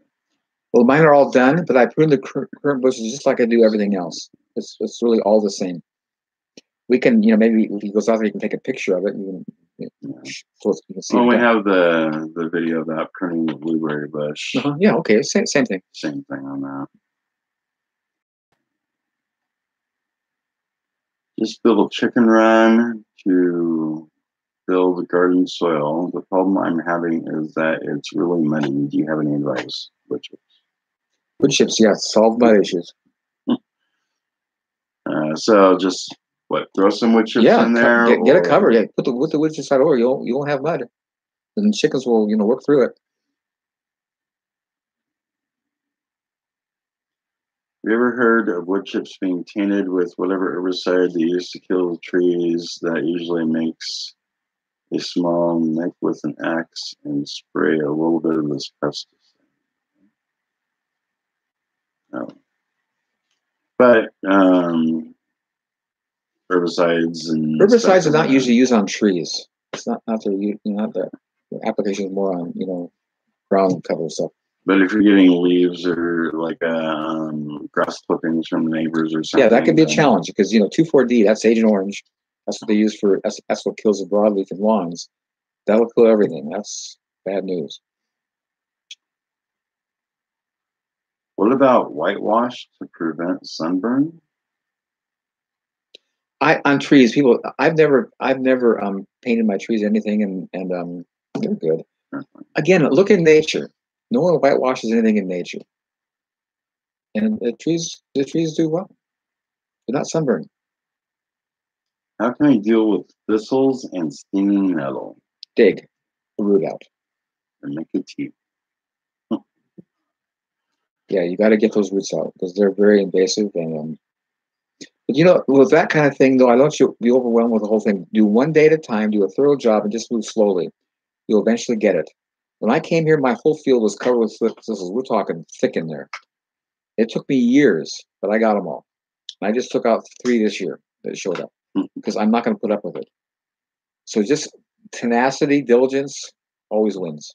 And if it's in a spot you want to do a garden, just run chickens through it. Let them scratch through it until there's nothing there. And then all that manure will put a lot of nitrogen into the soil, and thistle really doesn't like high nitrogen. So, so Yeah, chickens are the best for preparing soil. They just do their best job. the little feet, man, just says perfect cultivators, and they get everything out, and they eat everything. Is Paul still drinking kombucha? I drink kombucha that I make. I make it every two weeks myself. I've been doing it for, I think, almost thirty years now. How productive are wood chips that have almost no leaves? I live in Connecticut and I just had wood chips delivered to my home. The leaves are ideal. That's that's that's the um, you know, but if they're, if they're done in the dormant season, it's still okay. But ideally, the more leaf content, the the better the better quality the wood chips are. The, the more leaves, the better. But without them, just use what you can. Use whatever you have. But ideally, the higher leaf content, better quality. use grass with the leaves. Yeah, or leaf, or or or when people rake up leaves, just put Yeah. you know fresh leaves down. Add to it. What are your opinions on greenhouses? greenhouses are unnatural. You take out, um, well, I'll just give you an example of the test they did. In a sun-ripened tomato, there's 300 phytochemicals. In a greenhouse tomato, there's 50. 250 were lost with light going through glass because it interrupts photosynthesis. Produce grown in greenhouses is really deplete in nutrient density. When it's grown its whole life. When you're Yeah. starting seed, It's great for, and then you move them outside. Yeah, it's Yeah. great for starting things, but for their whole life in a greenhouse, you're not going to have much nutrition.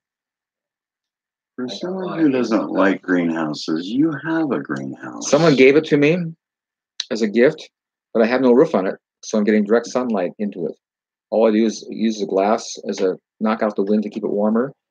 And then the wind was so unkind here recently, just blew one out and broke broke broke broke one for me. You know, so it's it's been a challenge having a greenhouse.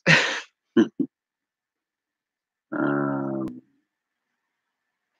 I, I do grow basil, and the basil does really nice in the summertime in my greenhouse. So it's okay as a wind block, but Yeah. you want to keep the roof off. Keep the roof off so you get direct sunlight and rain. You know, because those things are really beneficial to plant life. Thank you for sharing all your knowledge. You've been such an inspiration to me. Thank you. Is it okay to remove leaves from the lawn and put it at the base of a tree? Yes. Or if you just when you mow, just l- put the whole thing, the grass clippings and the leaves at the base of the tree. Let let the mower pick it up for you. I would like to add a shrub or some plants that would provide some shade and protection for my chickens in their run, but it needs to be less than six feet tall. Do you have any suggestions? Sunflower plants. They're they're, They they're probably eat them before they even sprout. Yeah. Yeah, if you put them on the outside of the fence, Yeah, on the outside. Um, because they do grow tall. They grow in the summertime when you need the and they shade, drop seeds. and then they Yeah, drop seeds, and you can just throw the stalks right Yeah. into the. yeah, just plant sunflowers on the outside edge of your of your chicken pen. Either that or I was even thinking like I keep feeling like willow. Like certain willows do you can prune them into a bush. And then you can just cut them down and let them come back from the roots. Yeah. This is, you know, okay. You have to, every- when it gets beyond six feet, just take it out and let it come back again. Yeah. And then all the willow brush and stuff, once that's composted, willow is amazing. Composted willow, since willow bark alone is a good root inhibitor, not root inhibitor, Enhancer. promoter. Um, willow compost is incredible. When Paul planted the sequoia trees along his driveway, there might be more to that question. Okay, that's oh, maybe when did you? Oh, the trees, the trees are 21 years old now. I did 21 years ago. And they were six inch starts, little tiny six inch seedlings.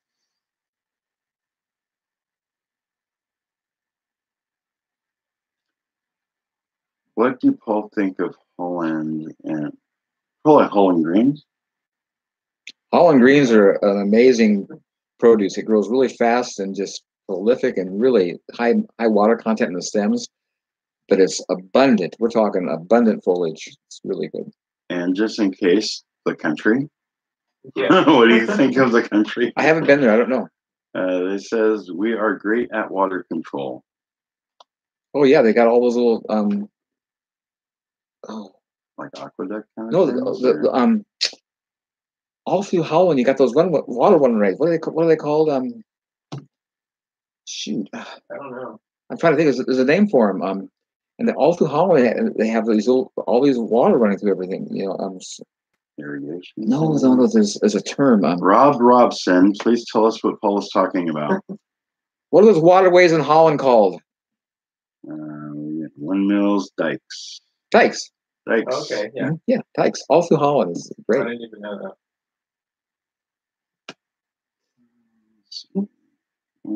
Good at you, Holland. Um, I would choose Placifora for chicken pens. You can eat the fruit. Passiflora, like for uh, Like shade for plant, that. Yeah, I think that's what they're talking about. I don't know what it is, but Okay. Sure.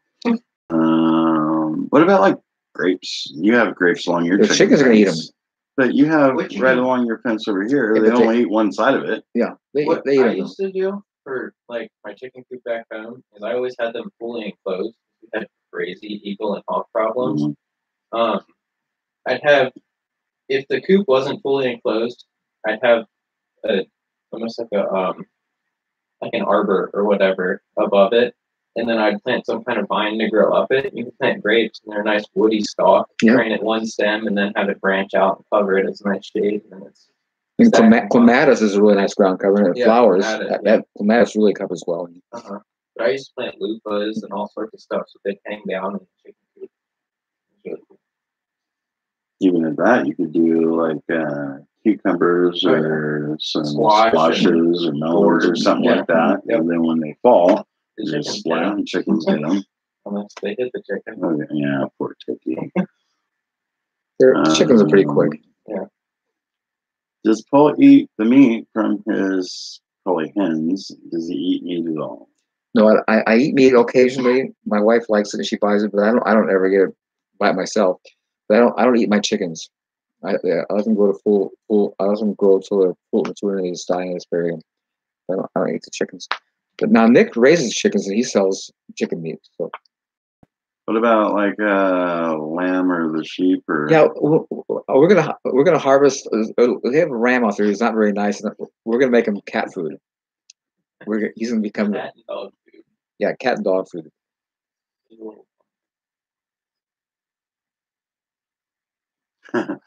Churches need to do back to Eden gardening so that when we get raptured, our unbelieving loved ones will have something to eat. uh, where do you get your Holland Green seeds? For several years, Cole's Nursery no longer carries it. The only place that carried it I knew of was was um, Pine Tree Nursery, and they don't carry it anymore. So I don't know where to get it now. Hmm. So if you have it, plant it and collect, collect your own seed because this is getting hard to find. You know? Um, oh, Passiflora is the plant that grows passion fruits. Okay. Yeah. Fine. Right. Yeah, I would think. You mentioned that you add wood ash to your garden. Do you also add wood lump charcoal? I pretty much put it all my chicken pen and the chickens homogenize it into all the soil, and that, that goes to my my, my garden. You So- take everything from your wood burning stove and you put it out there, And and you also burn. Um, Burn brush and stuff in, inside the chicken pen And so all of that, goes in. everything. And again, the- this is all homogenized by the chickens into the compost, so it's really so well mixed you can't find it. Since you're outside a lot, do you are you concerned about sunburn, etc.? No. And I and I'm I'm I'm a Swiss German culture. I lived in California growing up, and I sunburned all summer long, and it never never never bothered my skin. I mean, all summer long I sunburned because I because that's a hot environment, and I have really light skin. I have wild grapes that don't get any ripe grapes ever. Is there something wrong with them? Pollination. They need to be cross pollinated. Cross pollinated with another, Another grape. type of grape, Yeah. or just it's the same grape Another, just over there? an- I think another variety. Just any other variety of grape. Uh, is there grape grafting? I'm sure you could graft grapes. Yeah, Yeah. a lot of grapes are grafted when you buy. Starts. Yeah. Yep, they're grafted. So you could probably just find somebody with a You can have one vine and graft multiple varieties Into it. so pollinates just like the apple and pear trees. Yeah, just you know, uh, like one leader graft something into it, so you have multiple Uh-huh. you know, rise in the same plant. Would be nice to see Paul pruning the grapevine again. Yeah, I'm sure it would. I don't live here no more. Can't get up all the time to see all those things. Uh, does kale is same family as cauliflower? I mean, cool. Don't want to know what is called in English. Yeah, it's the brassica family, and it's kale, cauliflower, broccoli, cabbage, all that is brassica. And did Nick ever process his chickens? Dying to know what they taste like. Like chicken, huh? Huh? Tastes like chicken. They taste so much better than just chicken. it was like amazing. Amazing. They were great.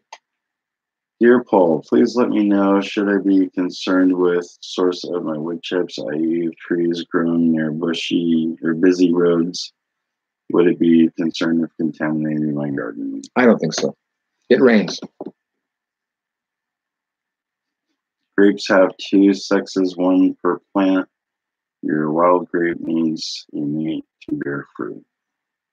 How do you tell if your grape is a male or a female? I just looked up this little I leaf don't or know. something.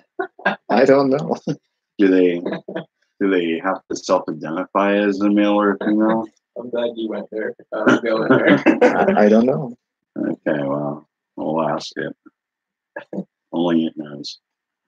Don't buy anything from Home Depot. There's a question here about from Francis. Don't buy any plant material from Home Depot or Walmart, any of those places. They're just garbage stuff, not good quality. Not even my grafted trees that I get from the Costco's. They're butchered. If you look at how they come in, in there, they've all been butchered. I mean, they're all, if you ha- if that's all you can, but just they're, they're that'd be the last place I'd get them. I'd rather like about support small, like local nurseries too, instead of these big box stores. Like if you have the option, if all you've got is Home Depot and Walmart, sure, whatever. But I support the local nurseries. I like about the Costco ones is uh, they're grafted Yeah. already. I, I can you know pick which one that I Uh-huh. that I want, and if for some reason, even if I kill it, I just take They'll it back replace to it. them and be like, Yeah. here, They're great for and then they just Yeah, Costco. Costco's you nice. another one. Costco is a is a nice company, regardless of their products. Some of the products, they're a great company. Um,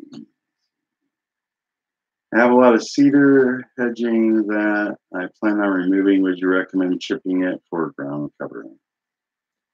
Well, cedar is probably your, your least desirable. It does break down. Everything does turn back to dirt, but that'd be the, the least desirable. But if you, that's what you have, use it. It just would take every all the organic material will work. It's just some will take longer, Longer, to yeah. work. I'd probably compost it on the side first. Because fresh cedar it has a root inhibitor in Yeah. it that hands. Mhm. Like if you look under a cedar tree or even the sequoias, there's no weeds growing. Right. There's there's some under my. I think I think it's There's a couple and they adapt to that environment, Mhm. but for a vegetable, it's not going to No. like it. So compost it and then use it because it'll be fine. It'll be neutralized. What is Paul's favorite vegetable to eat? when they're fresh in season. They're all favorite. You know, it's just I mean, just like you just you know you bite in. You know, like like we were out there in the, the snow covered ground. I took up some parsley under the snow. It was just delicious. It was amazing. You know, again, all my vegetables are good, and it's just again in season. They just are the are the best.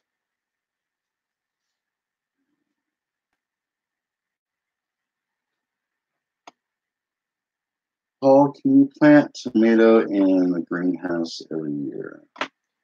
Don't plant tomatoes in the greenhouse. I, I, you can start them there, but get them out when you want tomatoes because they should be in full sun. It tastes much better better, better for you. Does kale help healing cancer? Yes, kale. Kale is powerful. It has it has um, a chemical in it or a product of a component that actually goes into the cell and eats out free radicals. It's an amazing cancer um, killer. Kale is an amazing food. Really, really good for you. See, antioxidants will, will take out free radicals that cause cancer, but once they penetrate the cell wall, antioxidants can't penetrate the cell walls, but kale does.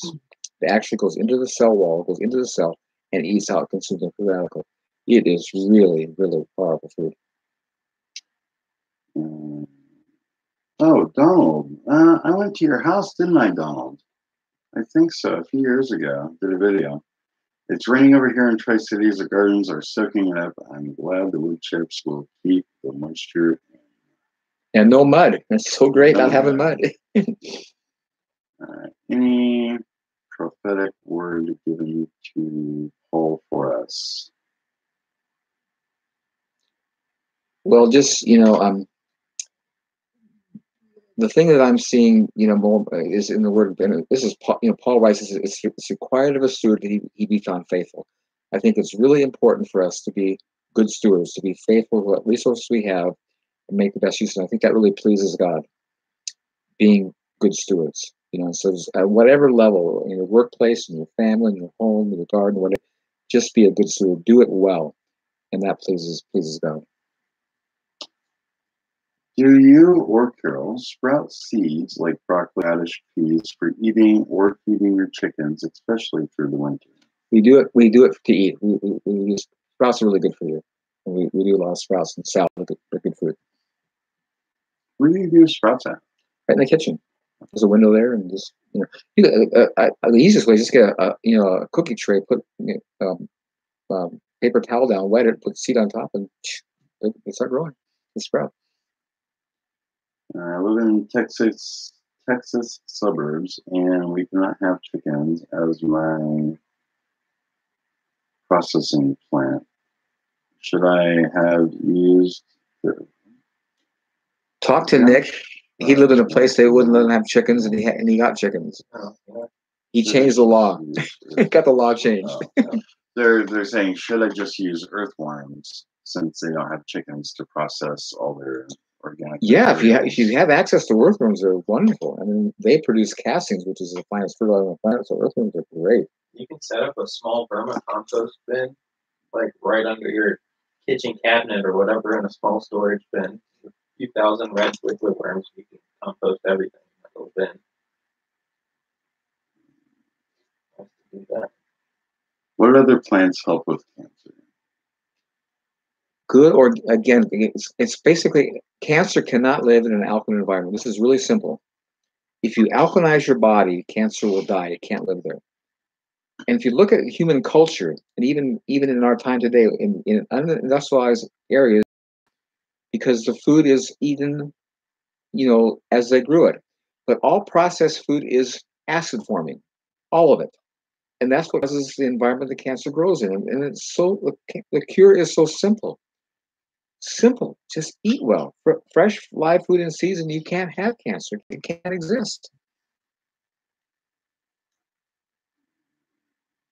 Thanks for the info. For sure, cover crops, no till, built a roller crimper, repairing heavy tilled soil on five acres.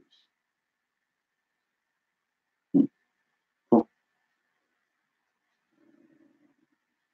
Love this. Wish there were more videos.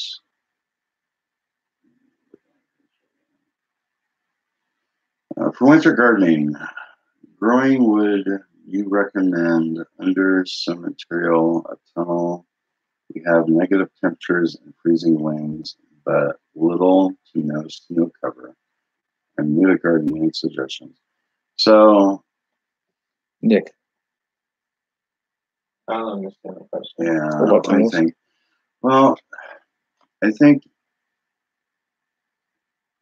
to keep the wind away from, like, let's say you're in Alaska or something like that. Yeah, cold winds always constantly blowing along, Yeah. And you still want to be able to grow some food. So you dig out, trench, put a tunnel cover like wouldn't even that. dig it out. Just like a small caterpillar tunnel or like a small little hoop house or something. I mean, yeah, growing these kind of things under in a greenhouse condition, they might not be great, but they're better than nothing. nothing.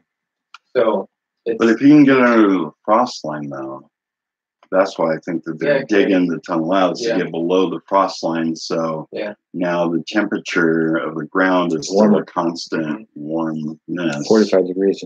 And then put a tunnel over it for the light.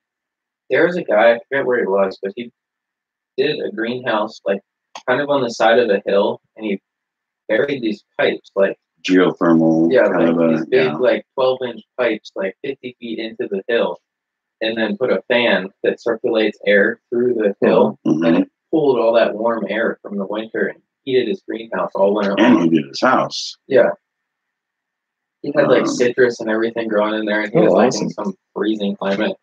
And he dug down too on that. He did, yeah. Yeah, and then they built a greenhouse or something Kind over like top a, of it. It's like a lean-to. Yeah. He dug into the mountain. Yeah. Okay, see, the ground temperature is you know, 45 degrees, you know, which in the freezing climate, that's that's warm. Pretty warm, yeah.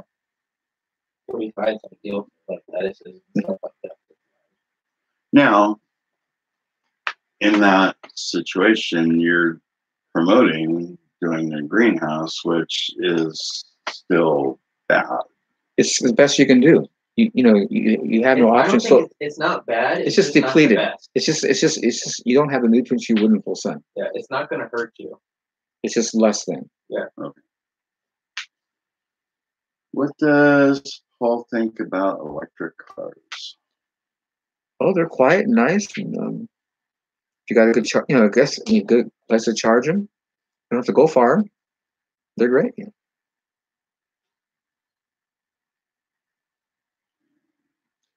They won't replace my truck though. Your truck's awesome. my truck does it does a, just a lot of good hard work that electric car won't do. All about your battery. Oh, my battery. To it's such a it's it's you know I bought a lifetime warranty battery back in 1977 from J.C. Penney's. This is 1977. This is a while ago. So over the years, it's been a real interesting process in getting them to um, replace it. Uh-huh. You know, because they don't make the battery anymore. So they were having me go to part stores and get them. The, the, the, you know, so now J.C. Penney's has given up the liability to Firestone Tire Company, and so I had mm-hmm. to call them, and they says, "What? I couldn't believe how many times could you hold a minute while I." Because they just have never encountered this before, you know. And I'm still in the process now of we've got a case a case in, and they're ha- trying to process this. But you have what? Yes, and you have the liability from J.C. Penney's, and you're required because I have the truck and I'm still alive to replace my battery, and I need 169 dollars because that's what it costs. Mm-hmm, mm-hmm, um, I've been trying to grow kale here so many times. I cannot seem to get it to grow. Any suggestions for Tri Cities? You know what? I have two kale plants that refuse to die, and I planted them. Uh, I had a buddy over. I had a bunch of kale seeds left over from like five years ago when I got some from Paul. And I was telling this guy that when I went to Paul's house one time to do uh, a video, he was telling me about carrots and planting carrot seeds by putting the carrot seeds in his hand and just throwing them on the ground under a tree. And a month later, I came back and there were carrots. And so I had these kale seeds and I just threw them on top of the wood chips out in the the edge of the garden pasture. And I have two kale plants from that that refuse to die. So I don't know. Just throw it out there and add some water. Again, in nature, no one plants seeds; they just blow in. Seeds just blow in and they grow.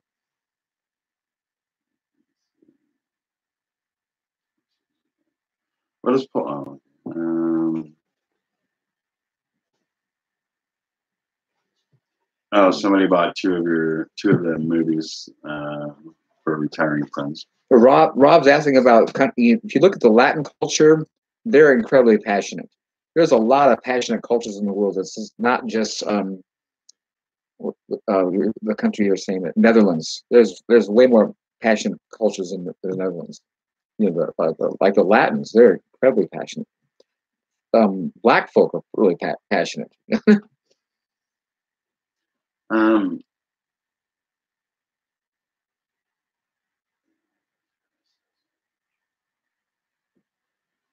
is is it passion or pension? Is there a Yeah, I think it's plant or something? oh, pension. I'm sorry. Pension? Is there a I don't know.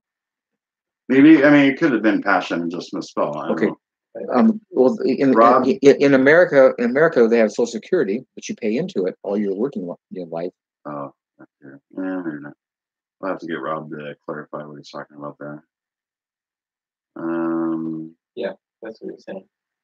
Said, I'm, a- I'm asking if Paul want to retire someday. No, I don't believe in retirement because uh, if you look at Scripture, you know Moses was 120 years old and still functional.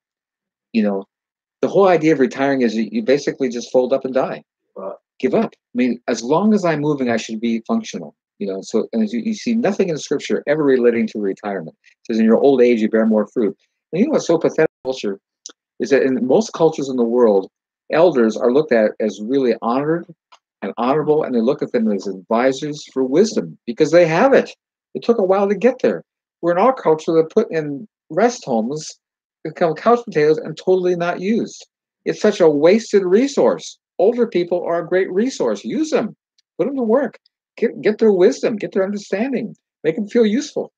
And it's just so stupid our culture is all about retiring. Like, are you kidding me? This is not, not real, you know. just learning about back to Eden Garden. Live in, I want to say Missouri, but zone five or six. Is it too late now to prepare for a spring back to Eden Garden? What should I do now to get the ball rolling? just what you do in the fall. You're just a little late, but just anytime you start is good. It's just it's just you'll have to wait for it to, the seasons to come in, but you can't turn the clock back. There's no and there's no reason not to not to start. So just go for it. What part of the tree is used for grafting the new tree? The, the, the only part of the live part of the tree is the cambium layer, that little green part below the bark. That has to come in contact with each with each, either the tree and the graft. The center part is not living; it's there- there for support, but it's not live. The only live part is the cambium layer, and that has to be in contact one with another for any life to be transferred. So if you have a new tree, brand new year one tree, and you want to take a graft from another tree and put it into this smaller tree, what part of the bigger older tree would you use for the graft? So it has to be the same. Okay, if you if, if you want to maintain this the, the tree, then you have to have a side branch coming off and graft into it. If you cut the main tree and plug into it, then that tree just stop there, and your graft now becomes a reality. but you want to keep it this diameter to this diameter. Yeah, ex- whatever you're So grafting in, The, the end tip, if you're going in a brand new tree, it'd probably be like something like this. or even smaller, could or be smaller. yeah. So you want to probably from that bigger tree. the size like doesn't matter. or It's just make, make make sure they're the same diameter. At some point, they become too small to work with, or too big to work with. But it but there's a huge Like the size of a pencil. is ideal. Yeah, is ideal. So it, it's just so easy to to, to work with. Earth Earth Ship House. That's right. Nice. Yeah.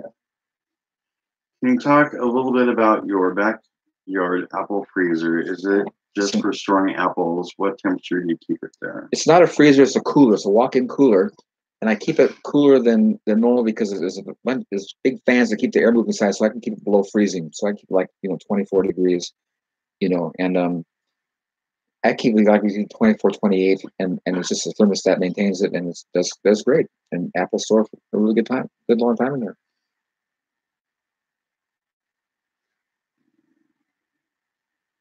We are moving to a new home in the foothills of Virginia. Get out now. Uh, and I want to get our Eden garden going as fast as we can. What's your best suggestion? Well, find a space you want to grow food in, put a cover on it. Come spring, pull the cover back, start planting the soil, and just go for it. And just keep in in you know over time, just keep improving and developing the space. You know, plant fruit trees February. That's next month. They'll be coming into into into the um, nurseries. So start planting fruit trees, and then the, underneath the fruit trees, start growing your garden. Hello, Paul. It's Rhonda from Milwaukee. Oh, hi, Rhonda. Um, my experiment or my ex- experience maybe in the garden is that sometimes the crop does better than the year before. I think it's in the weather. Hello from Spain. Paul, do you think that one of the causes of Alzheimer's disease is retirement, i.e., disengaging our bodies and minds, causing atrophy of the brain? I'm sure whatever again the old adage if you don't use it you lose it is true at all levels. I also think nutrition has a lot to do with um, Alzheimer's. If you look at if you look at um, India, this is a classic demonstration. India has a huge population of poor people, not well off, but the the percentage of dementia and Alzheimer's in in um, India is less than one percent. The reason is they're eating turmeric every day in their in their in their curry turmeric is really good for the brain. So I think both with use and nutrition is the issue with Alzheimer's.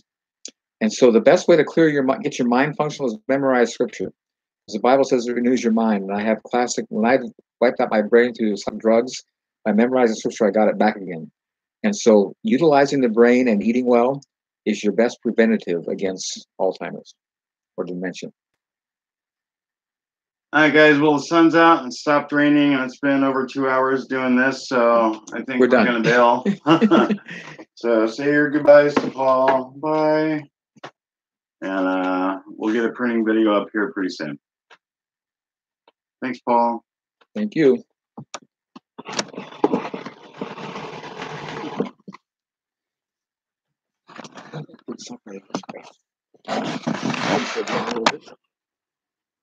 You know what, guys? I I was videoing this, so I will probably post uh, that as well soonish. Uh, so you can uh, maybe have a clearer video and clearer audio. And that's all I have to say about that. Bye.